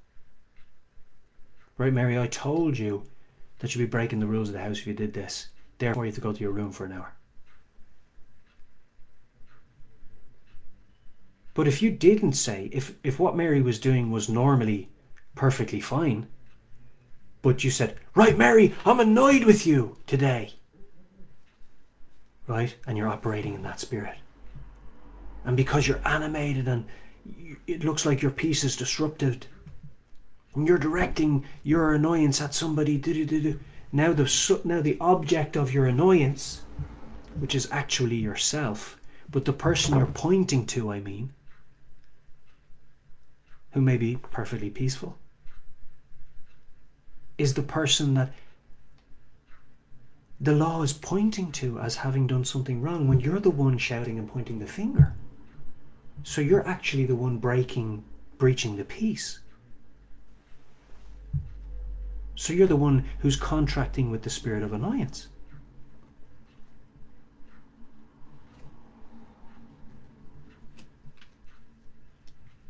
You're the one giving remit, giving access to that spirit to the situation. And that's what this this that's what this legislation does. This legislation allows that. You see? Serious annoyance. Serious offense. You see the see the way they're trying to make something out of nothing. Because there's no lawful definition in it. So it has to point to itself. I'm serious offense. Take me serious. That's the spirit talking about itself, you see? I'm serious offense. I'm serious annoyance. Take me serious. Include me. Bring me into the thing. It's serious. You see that? But it has it but there's no definition. It's not lawful because it's spiritual. So it can't be lawful. You can't lawfully depict a spirit. A spirit is non-physical. So you can't define it as an as being an actual offense, the, the, the lawful use of the word. Okay? Or might reasonably be expected to be aware of such behavior. Serious offense, serious annoyance to any person who is or might reasonably be expected to be aware of such behavior. Of what behavior? Because you haven't actually articulated what the uh, the behavior that's breaking the law is. But you're but you're talking about serious offense and serious annoyance but what's the behavior so that people can not do the behavior? How can you avoid doing a behavior that you don't know you shouldn't do? Or that it's not unlawful to do? Do you see the point I'm making to you?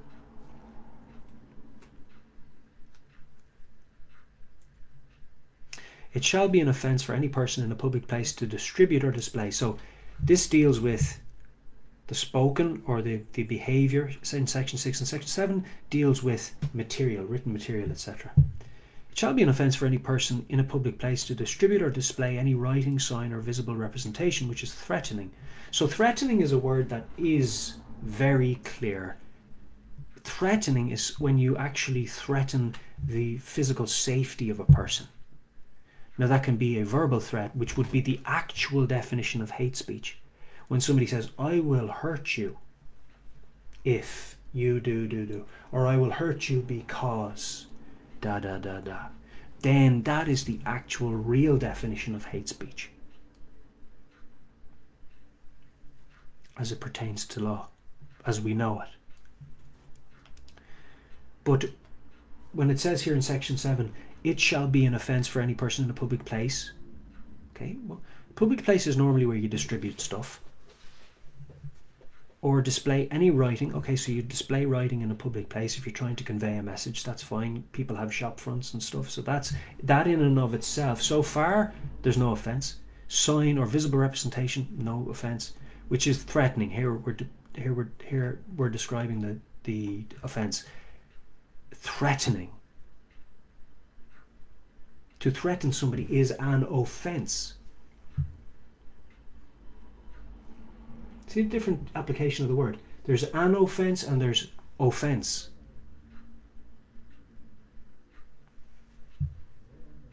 Something that's deemed offensive by somebody. But that's subjective. So it's not measurable. So can it be clearly defined? So it shouldn't be in law. Because you can't police it. Without the guard operating conspirator- conspiratorially with the other person who subjectively happens to agree with them in order to effect an, an arrest. Who just so happens to agree with them. What a coincidence. So, threatening, abusive. Well, what's abusive? So, abusive is actually abuse, which means the wrong use. Abuse, what does that mean? Like abnormal? Abuse? Use to bad effect or for a bad purpose, to misuse something. Treat with cruelty or violence, especially regularly or repeatedly. The improper use of something, cruel and violent treatment. So here, like violent, threatening is the threat of violent, and abuse is actually violent. So, so far, we can understand insulting. Well, here we're going into obscurity. Insulting. Disrespectful or scornfully abusive. Well, hold on a second. Disrespectful or scornfully abusive? There's a kind of a muddying of the waters because scorn is spoken. A feeling and expression of contempt or disdain for something or someone. It's an expression, that's the spoken word. To feel or express something by the spoken word, that's scorn. So something scornfully abusive is like doesn't really pertain to public order because abusive is violent. So, how can something be uh, verbally violent? Do you see what I'm saying to you? Do you see the muddying of the waters here? Because they have to try to uh, make something appear as if it's breaking the law, but when you unpack it, it's a nonsense.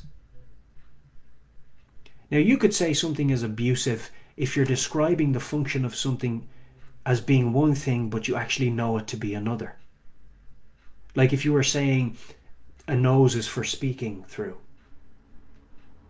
well, that would clearly be abusive, quite literally, because that would be the wrong use of a nose. So that would be abusive speak.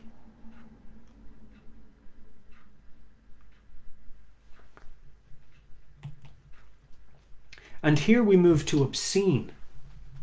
So it says threatening, abusive, insulting, or obscene. So let's look at the word obscene. Do you see how we're being mocked in these wordings? Obscene. So obscene would be offensive or disgusting by accepted standards of morality and decency. Well, we know the Bible is an accepted standard of morality and decency in Ireland. Still to this day, the Bible is an accepted, accepted standard of morality and decency. So, obscene material would be something like um, pornography. Like if you were handing out something on the street, say you were handing out pornographic material to a little one on the street there, flyer. that would be obscene, and the guard would rightly arrest you and say, ask you what you were thought you were doing. Take you down the station and ask you, what are you doing, man or woman? Giving that out to that child. And then they might even consider that that person needs a talking to by somebody helpful in the community and might need more attention because there's something clearly malfunctioning there. So, pornographic, indecent, salacious, smutty, lewd, rude, dirty generally pertains to sexually uh, explicit material. So, offending against moral principles or repugnant, outrageous, heinous, foul, vile, scandalous, shocking.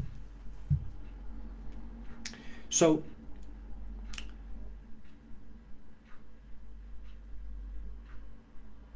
as it pertains to my sign, it was said that people felt, the guard felt there was, uh, it might have caused somebody to be insulted. And that that might have caused a breach of the peace if somebody had seen it. So because he thought subjectively that my sign might be insulting to somebody who might see it, they thought it would be a good idea to uh, take my sign and arrest me. But the material on the sign contained biblical scriptures and biblical teachings. Like, for example, sin serves Satan was some of the wording.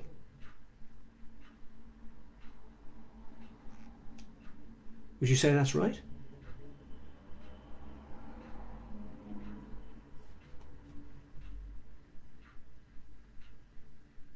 So, by extension, any type of sin, therefore, serves Satan, doesn't it?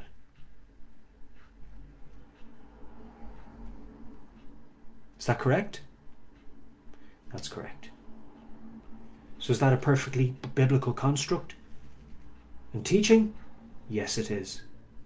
So, how then can the accepted standard of morality and decency be deemed insulting? And a cause for annoyance and offence.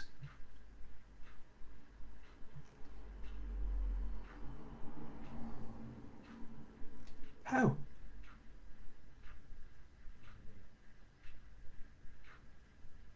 Unless the person who's deeming it offensive is not operating on good morals, on good moral ground, and is given to a spirit of offence and annoyance. See what's happened? The enemy has found his way into the public into law through the Criminal Justice Public Order Act. What has he done? He's used the darkness to propagate the darkness. What do I mean by that? What did they call alcohol? Only spirits. So he brought it in through the Intoxicating Liquor Act.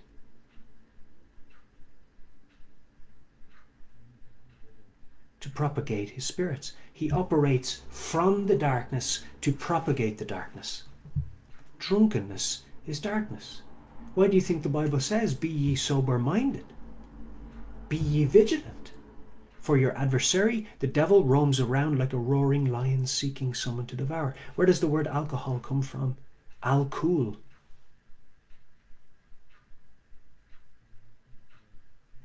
It's demonic. It's a demonic practice. It's a body eating spirit, a body devouring spirit. Al Kul.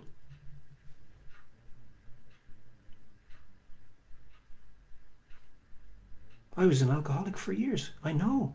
Personal experience. It breaks down your body. And you suffer as a result. And you're given then, you're more likely to uptake other spirits as a result of drinking spirits. You're literally drinking spirits. What do people do? They get violent. That's an evil spirit. What do they do when they drink? They're promiscuous. That's adultery. That's an evil spirit. What else are they given to? Getting annoyed, taking offense. So the thing that the public order is supposed to defend against, it's actually propagating. So now instead of the guardian of the peace being put up to keeping the peace, he's been put up to encouraging access to these evil spirits in law. That's what he's been put up. Go on ahead there, guard. A guardian of the annoyance. A guardian of the offence. A guardian of the. A guardian of the. A guardian of the vagueness. A guardian of the subjectivity.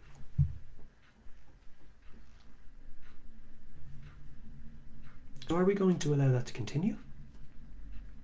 Or are we going to say we want our laws to be manageable and sensible and reasonable and clearly defined?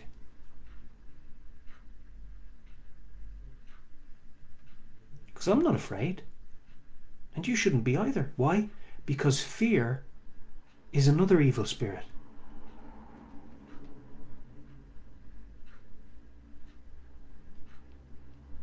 Amen?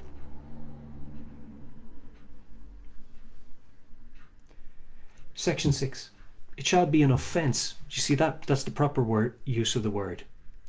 Misapplied, albeit. It shall be an offence for any person in a public place to use or engage in any threatening, abusive, or insulting. Oh, slip that in there. Because threatening, abusive, that's reasonable. Insulting, lost it you were on the tracks and it was like threatening, abusive, insulting, too subjective, too vague. You've let the enemy in the door. Words or behaviour with intent to provoke a breach of the peace or being reckless as to whether a breach of the peace may be occasioned. It's like you should have known that that person would be insulted by that. Now get to jail.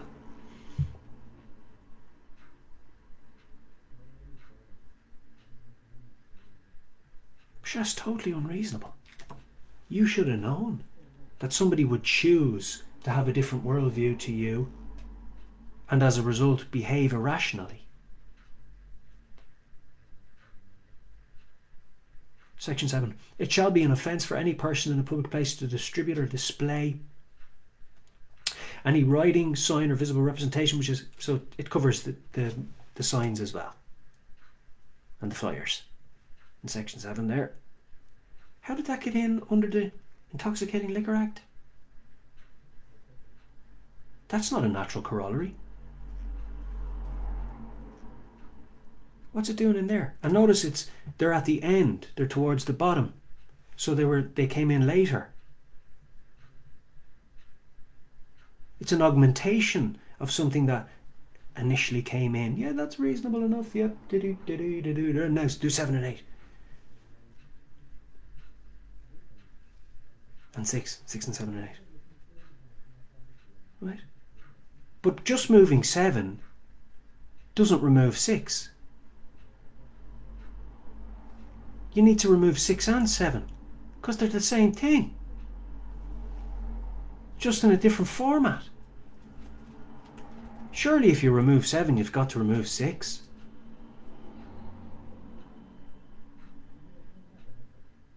And then you've got to clearly outline what offensive conduct means. Surely.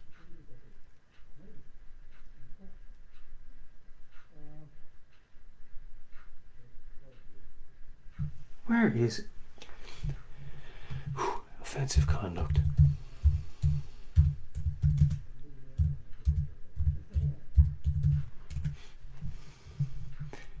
So, what's offensive at law? For your conduct or language to be offensive at law, it must be calculated to wound the feelings, arouse anger, or resentment, or disgust, or outrage, or in, in, in the mind of a reasonable person.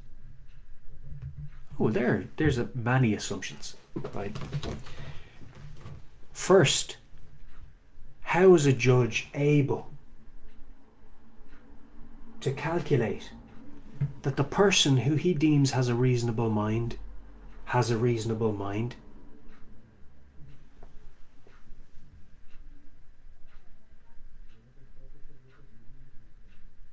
How does he do that? So, this is all part of the same insidious agenda to inject vagueness,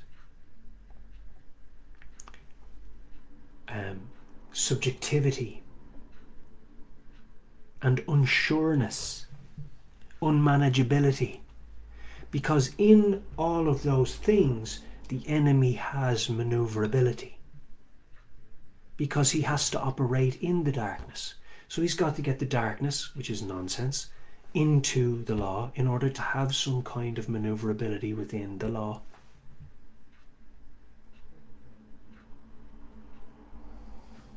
Do you see how that works?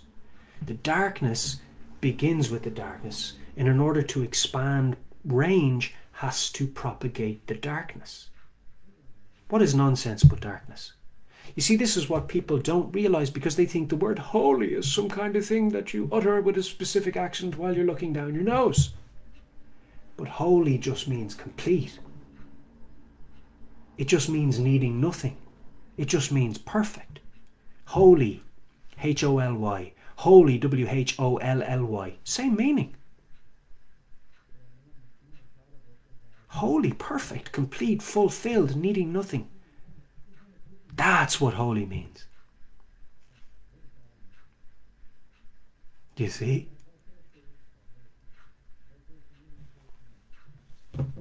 So,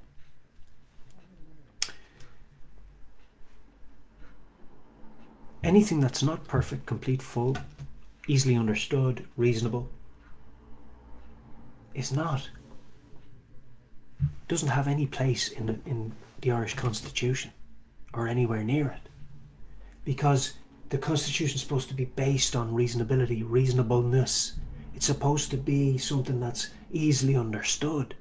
And that's why they're relying on their legislations and their amendments and all to support each other and, and build these exoskeletons that are parasitic to remove and nullify rights that are in the Constitution.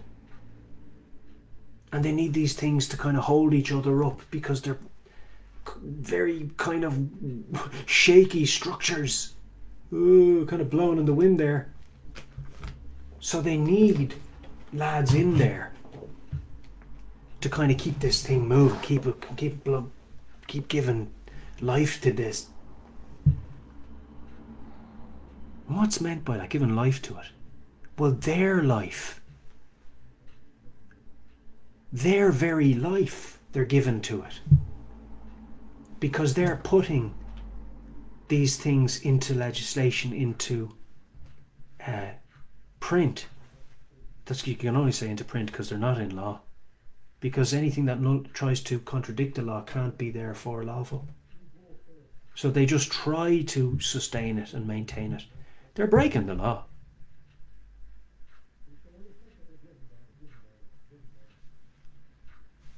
They're breaking the law. Look, that's why we challenge these things in the High Court. Because we say, High Court, look, look what they're doing. And so the High Court gets an opportunity to either um, abide by the law or break the law. Because the law is clear. So they set themselves up for it. And they get a day in court to decide what they're going to do and how they're going to proceed. And Lord Jesus is sovereign.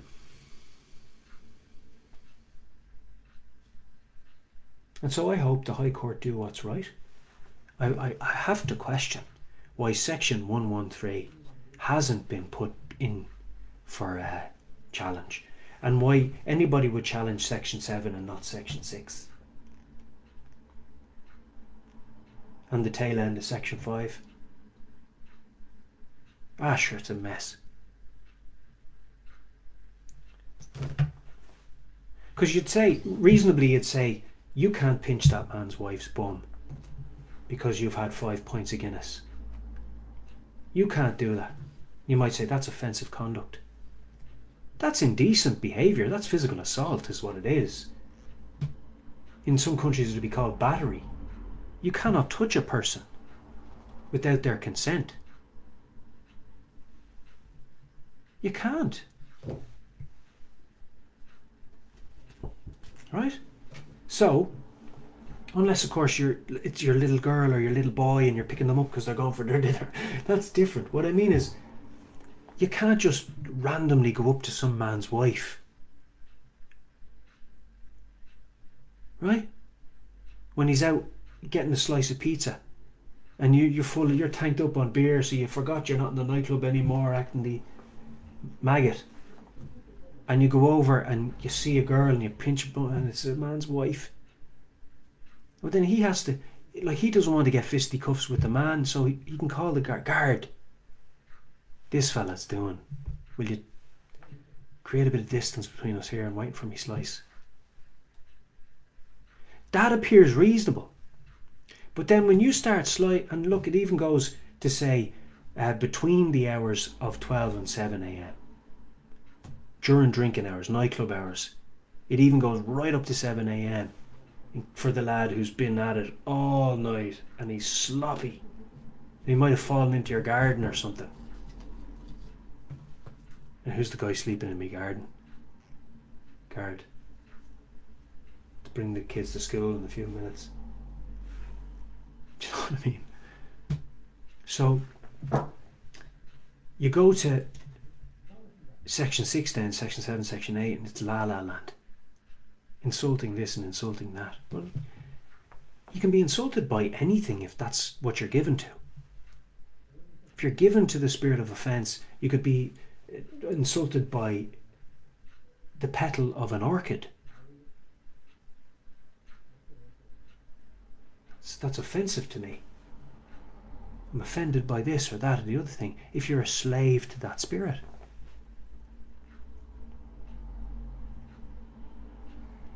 And if you're gung ho, and if you've been influenced and inculcated and indoctrinated into a way of being and a way of seeing things, and you've been encouraged to have that mob mentality and to think you're saving the world by having it,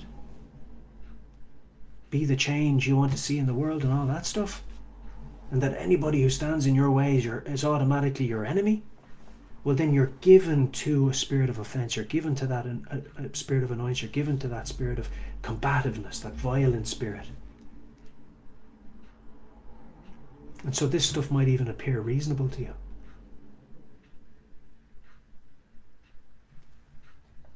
But it's not reasonable. It's not even clearly defined. It's opposed to the law. So how can it be lawful? It can't be.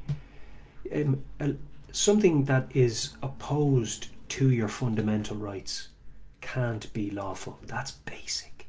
I mean, you wouldn't pass your exams as a law lawyer if you didn't know that.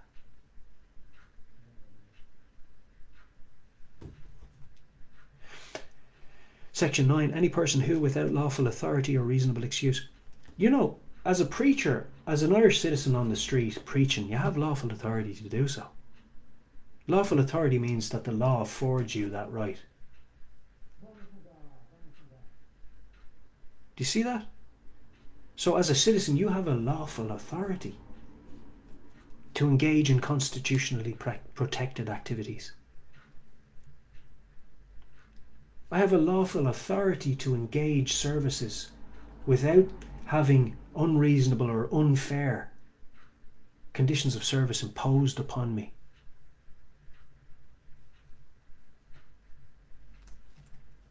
Or been forced to wear items that haven't been proven to be of merchantable quality and least do no harm. At least do no harm. This is serious stuff.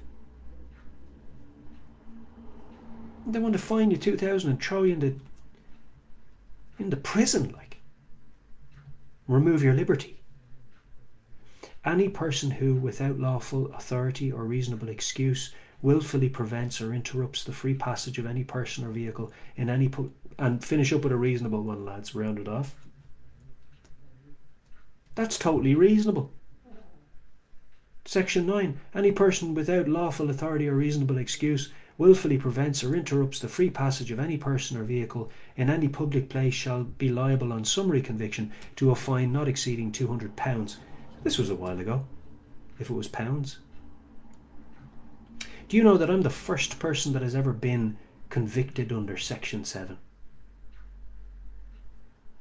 The first.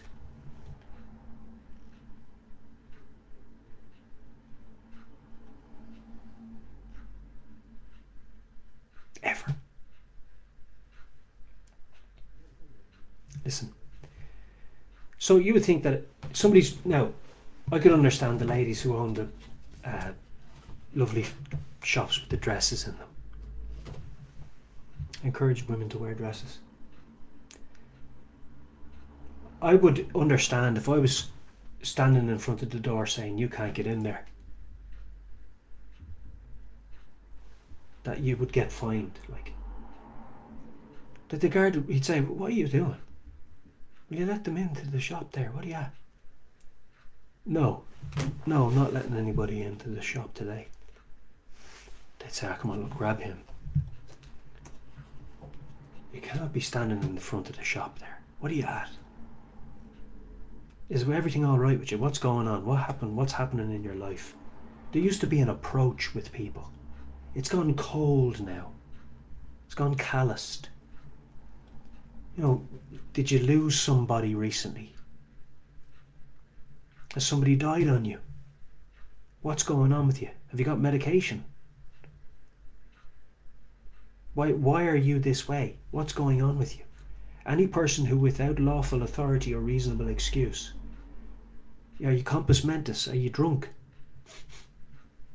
Wilfully prevents or interrupts the free passage of any person or vehicle in any public place shall be liable on summary conviction to a fine not exceeding £200. Not exceeding £200.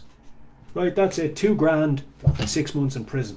You didn't put on your face diaper.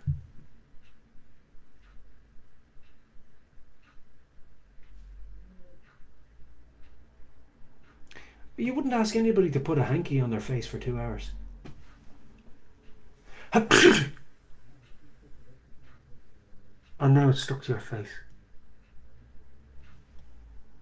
Schnots all over your face for two hours to get to Dublin.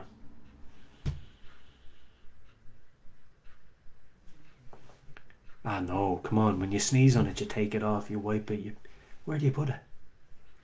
You put a new mask on, yeah, but where do you put the old one? What's the point of it then? You've got this all over your hands now, you touch your face, you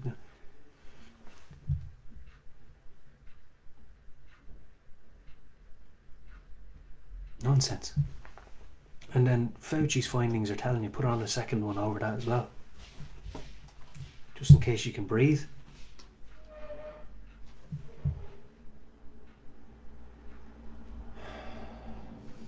Come on, lads.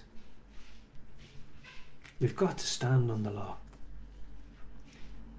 And we've got to uphold the law. And any time there is a section that contravenes the law, we need to challenge it and remove it. Otherwise, your children inherit a madhouse full of spiritual propagation, evil spirits, and the place becomes a place of uh, demonic activity.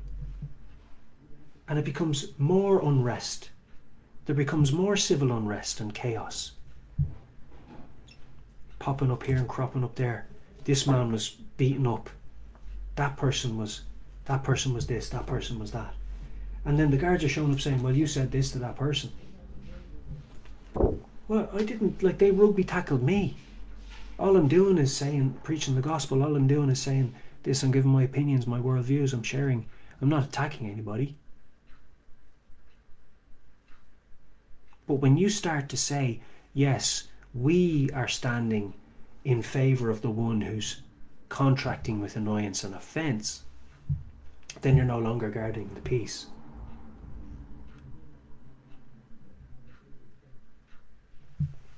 Because when you're guarding the peace, you say, no, you're not, no, your offence and your, your annoyance are one thing, but this man's rights can't be removed by your subjectivities and your annoyances and your offences And no, you can't, sorry, you can't physically touch him. You can't hurt him. You can't hit him. That's not okay just because you disagree with him. You can't do that. You can't try and kick his Bible out of his hand. You can't do that. That's his worldview. Just like, you, you, I mean, you can't go over and tip over the guy, the Islamic guy's table because you don't agree with his, and all his flyers go everywhere. You can't do that. That's not acceptable. And so that's why the Islamic guy can have his flyers over there and I can preach over here. And there's no conflict. But when people start to say, I'm annoyed by you, I'm offended by you, and then the guards come along and they're even preempting that somebody might be insulted, even in the absence of anybody being there, then we've got serious issues that need attention. And all I can do as a fellow citizen, fellow Irish man, is bring them to your attention. I'm not a violent person. I'm not engaging in seditious activity. I'm going through the proper channels. If I'm properly summoned to court, I will show up. No problem. If there's a, reasonable um, suspicion if they've actually articulated that a crime has been committed, if they actually go about investigating a crime having been committed, or establish any footing upon which to summons me to court, then that would be a different situation. But not even having the level of commitment to sign the summons or even uh, put it in an envelope goes to show how far things, the standards are dropping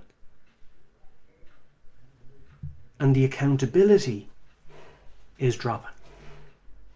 Because there's one thing buying a lovely, driving a lovely new Jeep. There's another thing fulfilling your office. Another one thing having a lovely big state-of-the-art station. It's another thing actually fulfilling your office. Professionally and according to the law. So having the trappings of success, they can literally become trappings. because they become your focus instead of your job.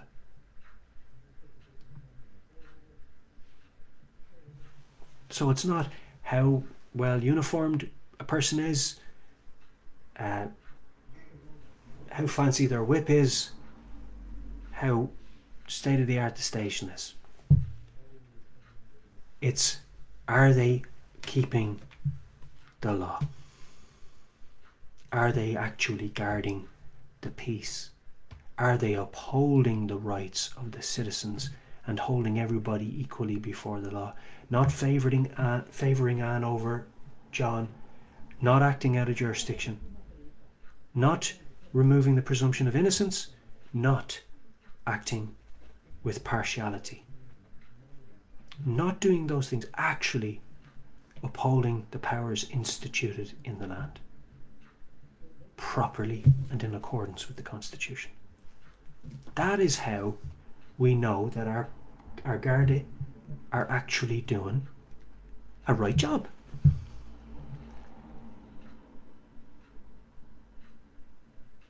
Because the station and the car and grand, that's lovely. That's one aspect of it. And the facilities are needed. But the carrying out of the job properly has to be the priority.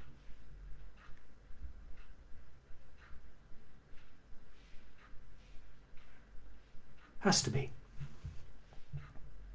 Dressing right and smart. Paying the lads properly be good as well. Gainful employment. That would lead to um, probably less opportunity for crime. The, the uh, the draw and the temptation to turn a blind eye would be reduced if the wages were right and, and actually covered a lad fairly so that he wasn't doing overtime in every opportunity just to make ends meet. These things need to be looked at. Our government need to be looking at these things. So there's as the average Joe, yes, you're an average Joe, but you do have a responsibility to your fellow man. You do have to care about people. And it's we the people for the people. It's not we the people for ourselves. And, you know, trample everybody else and throw them under the bus at every opportunity and suit yourself. It's we the people for the people. So that's looking after your neighbour. And your neighbour includes your Garda. You've got to love him and look out for his interests. And at the same time, not tolerate when lads go crooked or when legislative bodies ask lads to do things that are against the law and against their oath and against their office and, and whatever else. So that's part of We the People for the People. That's ensuring that corruption stays out of the law, corruption stays out of the station, etc., etc. And that's why it was written into the Constitution that the guards can't partake of societies that would may have agendas that were not in keeping with that of the Constitution. Because then they would have um, the, the, the if that wasn't written into the Constitution, they would have the, they would potentially um, create an opportunity for guards to, to have a an, an ulterior motive, an ulterior agenda. And these are realities. If, if you don't think that this is reality in life, then you're naive and you need to read your Bible.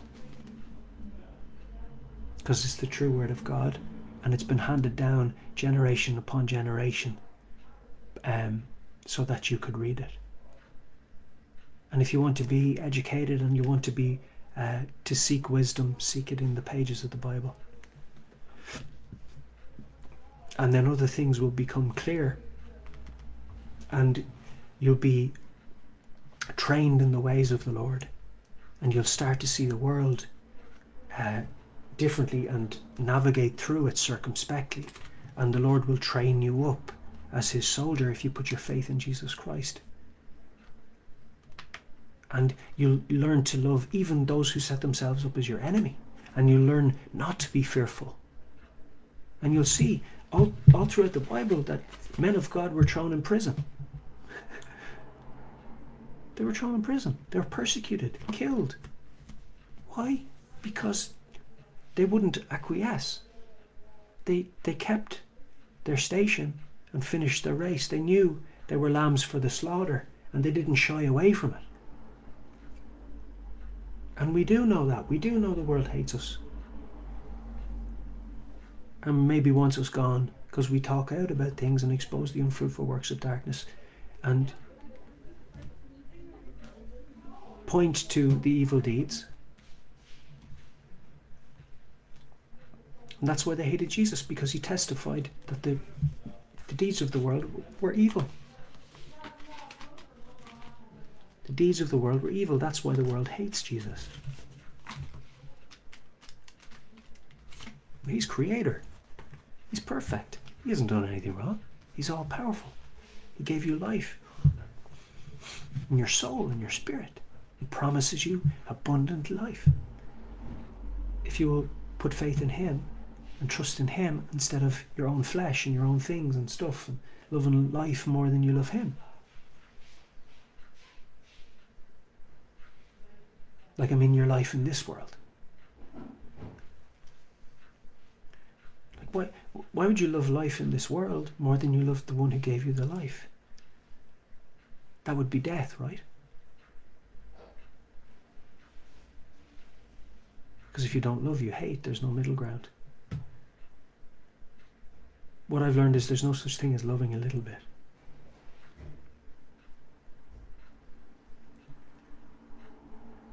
and love doesn't quit. Blessings, beloved. Jesus is the way and the truth and the life, and no man comes to the Father but through me, saith the Lord. I love you. Blessings.